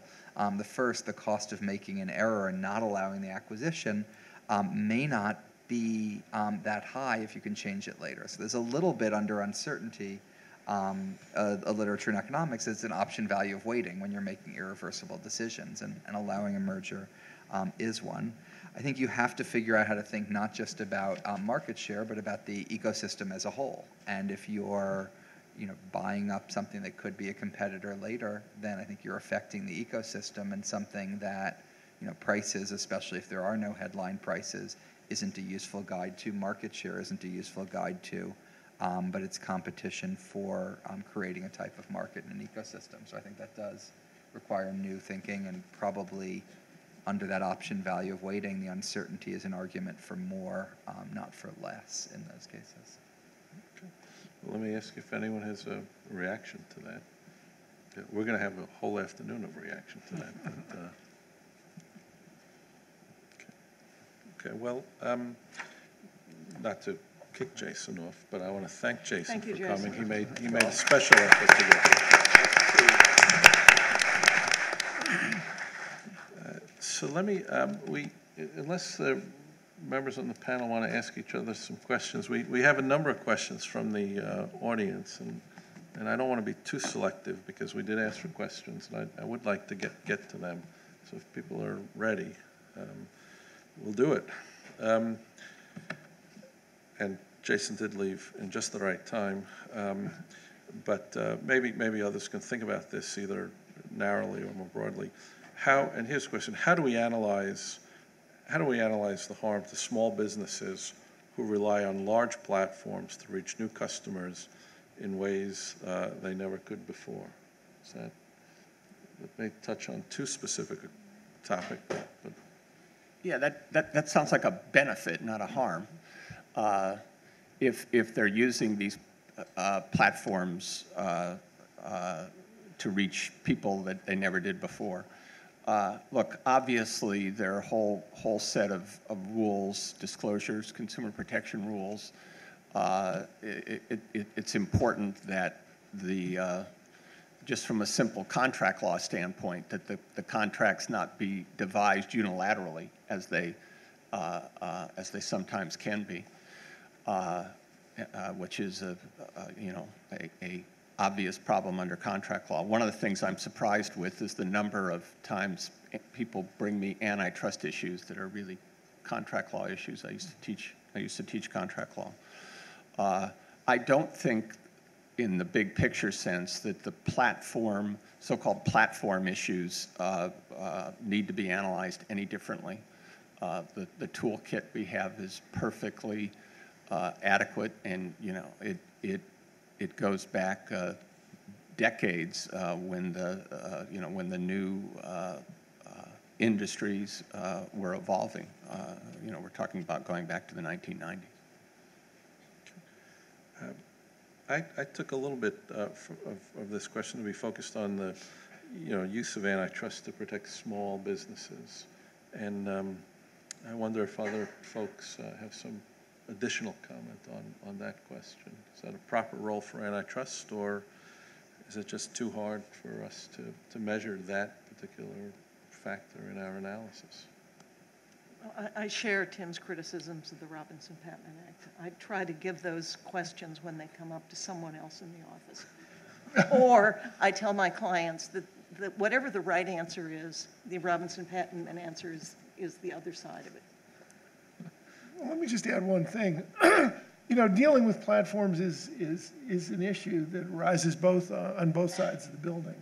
Um, For example, I mean, you know, one of the ironies in the Google investigation were the companies that were complaining about anti-competitive conduct were the very companies that wouldn't have existed but for Google. Um, and, you know, that, that interaction becomes very challenging. Um, also, you know, some of the platforms ha- raise serious consumer protection issues because they are essentially bazaars selling multiple products on the same page. And so questions about deception, who's responsible for the deception, arise with some frequency. So I think one unsort of met challenge on both sides of the building is what do we do about platforms? I mean, you know, we do have, there are certain immunities uh, for based on content, but that doesn't really resolve some of the consumer protection problems and some of the antitrust issues that arose, for example, in the Google investigation. I'll just add on the consumer protection side, when we're talking about platforms and responsibilities, and David, I hear you earlier in, in terms of talking about the limited resources for enforcement. Some of the things that we've seen is deputizing platforms to be responsible for those that they let into the bazaar. And that may be all well and good, but there's a lot of interpretation and a lack of guidance on what is reasonable oversight and monitoring, what's scalable, uh, and, and not doing a gotcha on that. So they're if all we- fair questions. If we go towards that point, what I would strongly encourage thoughtfulness over is what are the standards? To, to avoid third-party monitoring, whether it's a safe harbor, whether it's other types of incentivizing, but clarity on those points. Let me, uh, okay, any other comments on that? Um, Let me turn to a question that is, um, think I'll, I'll direct it to everybody. It's a similar question. So the question says that um, uh, former Chairman Muris mentioned imperfect information uh, in contrast to behavioral economics. Uh, But in standard economic models, imperfect information causes transactions not to happen. It does not cause buyers to be fooled. So here, I think here's the, the, the question. Aren't buyers sometimes simply fooled, and should they protected for being fooled, or from, from being fooled? Um, And I, I think that's both a consumer protection and in some ways a, a competition question, but I'll turn it over to David first. Uh, the answer is yes. Um, You know, uh, the commission has struggled with what is a reasonable consumer and what percentage of consumers must be deceived by a message. But, you know, the, the, the, the mission of the, of the, of the commission is to prevent deception in the marketplace. And, uh, and, you know, Tim and I may disagree at the margins about this, but I, I agree with Tim's fundamental point that the core mission of the agency is to pr- pr- protect against fraud. Um, and, you know, the, the statute doesn't really use the word fraud, it uses deception. Um, and I- that's, in my view, that's always been the core mission of the, the agency. The first cases the agency brought were consumer deception cases. They were the sale of silk, which was really cotton, and it was sold C-I-L-K. Um, and those were, those were literally the first enforcement cases the commission brought. So I, I- you know, this, historically, that's been at the, at the center of the, of the agency's mission. I would also just add to that, we have to reconcile what's a reasonable consumer and the gullible consumer standard. And one of the other parts of the FTC's mission is consumer education. And particularly as we go through the emerging marketplaces and people are learning even about those marketplaces, consumer education plays a key role in that, so that we don't dilute the reasonable person standard. I, agree with, with both of those points, but, and let me take the, the economic modeling part of that. It's, it's almost 60 years uh, uh, since Ronald Coase's famous article, and the applications of that are all about transaction costs. And uh, uh, shortly thereafter, you know, George Stigler won his Nobel Prize, uh, significant part uh, for discussing that advertising was an extremely powerful tool for the elimination of ignorance. Uh, well, obviously, there's, uh, if, if there's ignorance, we're talking about a world with transaction costs. Uh, and that's the world uh, uh, in which you need uh, an FTC enforcement, as I was talking about. And so the whole, this straw man that, that, that you, in the popular press, that, you know, economists talk about these, you know, automatons uh, who, who only react, consumers who, with perfect knowledge who only react to price. That, that just hasn't been true in, in any sensible economic application to what the FTC does for decades. Okay, well, thank you. Um, Let me follow up on a, on a point uh, uh, David made as, as well about a Bureau of Technology in the FTC. I'm going to depart a little bit from the question, uh, but ask, um, you know, what, uh, first, what do the other panelists think about that? Uh, Is it, is it something that's relevant on both the antitrust side of the house as, as, as well as the consumer protection side of the house? And um, what, what, what might it look like? And uh, I, I raised that, maybe it's a little unfair, because I didn't raise it earlier, but um, we have, you know, David was a bureau director, Tim, as well as being chairman, was a bureau director. Know, how do you, how do you set up these things for success, really? That's maybe my question.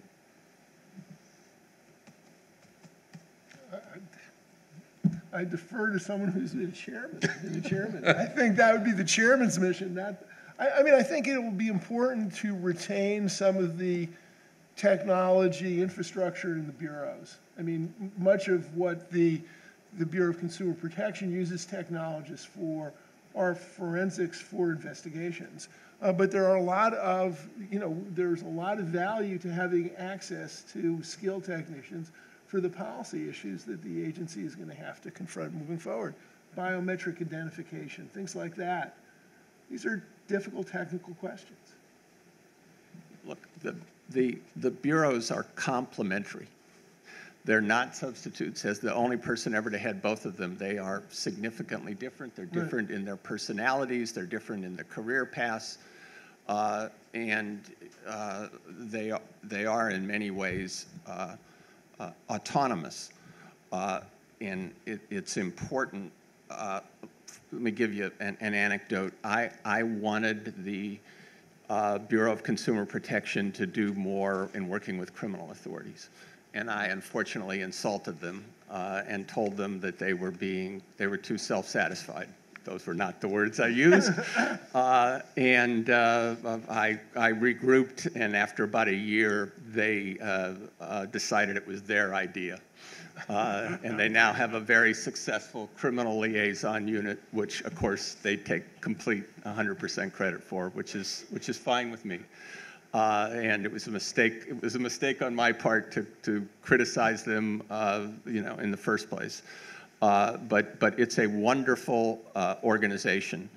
Uh, it reminds me of, uh, of working in OMB in the, in, in the old days, where you have people who it's their career. And it's not as transitory as the, as, as, as the Bureau of, of, of Competition. But embedding uh, in the Bureau, like, like, like David says, would be a, a, a very sensible way to go. Anybody, anybody else? Okay. Uh, I, I will answer uh, one of the questions. uh, following. There is a, there is a reference in that question to the, um, the uh, Office of Technology Research and Investigation, uh, what, what we call OTech, which does sit in BCP. Uh, The question is, why is this unit insufficient to get the job done now? Uh, Without commenting too much on whether it's insufficient or what job uh, they uh, are focused on, uh, we are, it it is a very small group, and more resources would probably be uh, appreciated uh, by the chair, and by the commissioners, and even by the bureau directors. Uh, So maybe I'll, I'll end with a question that um, maybe I have.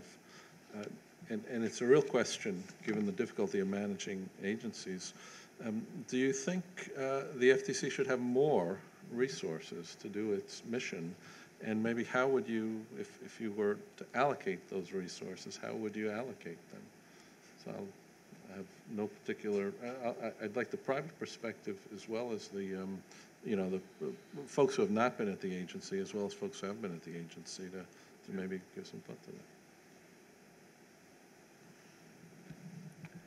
I think a question like that to be addressed by me is like asking uh, a Protestant minister what he thought about the latest papal encycl- encyclical. But um, when I was at the uh, when I was at the division, one of our major major efforts was to enhance the the, the workforce at the division, uh, both from the standpoint of law and economics, and uh, it was it was it was shorthanded when when I got there, and we were able to build it up, and I think increase the the efficacy of uh, of the agency uh, uh, with with more resources. It's difficult to get those kinds of resources with all the other budgetary demands, and uh, and, and we ran into a number of a number of problems, uh, partly solved by. By the, the, the, the filing fee issue, but I think uh, I think the agencies do need, but certainly the division needed more resources at that time, uh, sensibly used and sensibly uh, coordinated. Uh, with the commission, I lead to the people who work there. Well, I have a, a long-run view about this, and when in in '81, when we came in, uh, we were asked to uh, reduce resources. The way to think about it is FTE. We put the put the agency on a path from 1,800 to, to 1,200, uh, and uh, that's that's where it, it was when we uh, in the mid 80s. When I came back in 2001, I asked for a comparison with the mid 80s, and, it, and Bob had had about a thou, had about a thousand, and it turned out in professionals, a thousand and 1,200 were were about the same, a very small difference. Uh, and it, what had happened, there was a lot of outsourcing and a lot of productivity improvements. Uh, technology had had a significant effect. I think the agency's up to 1150, something like that. That's right. That's right. And uh, I, don't, I don't know how that compares with, uh, you know, with 2001. I suspect there have been some more productivity improvements, probably not as dramatic as in the, uh, uh, as in the 90s. but, you know, Bob did a, a hell of a job with a 1,000. I, I think we're headed for another retrenchment era. Uh, so I think it's probably wishful thinking to ask for uh, significantly more resources and uh, uh, besides the people, there's ob- the BCP, for example, has a significant infrastructure burden uh, that we manage to satisfy with uh, uh, with the money from Do Not Call, uh, which which we used for uh, building up the infrastructure for Do Not Call, which was very helpful for the rest of the uh, uh, for the rest of the agency. Uh, but I, I, I- think at the present, you know, the present rate strikes me as significantly more. We, we ended up about 1260, or about 1060. Uh, and I, I- thought we did a lot. I thought Bob did a lot. So I'm not, I, I don't, I don't think more resources are in the cards, and I, I think they're doing a lot with, with, with what they've got.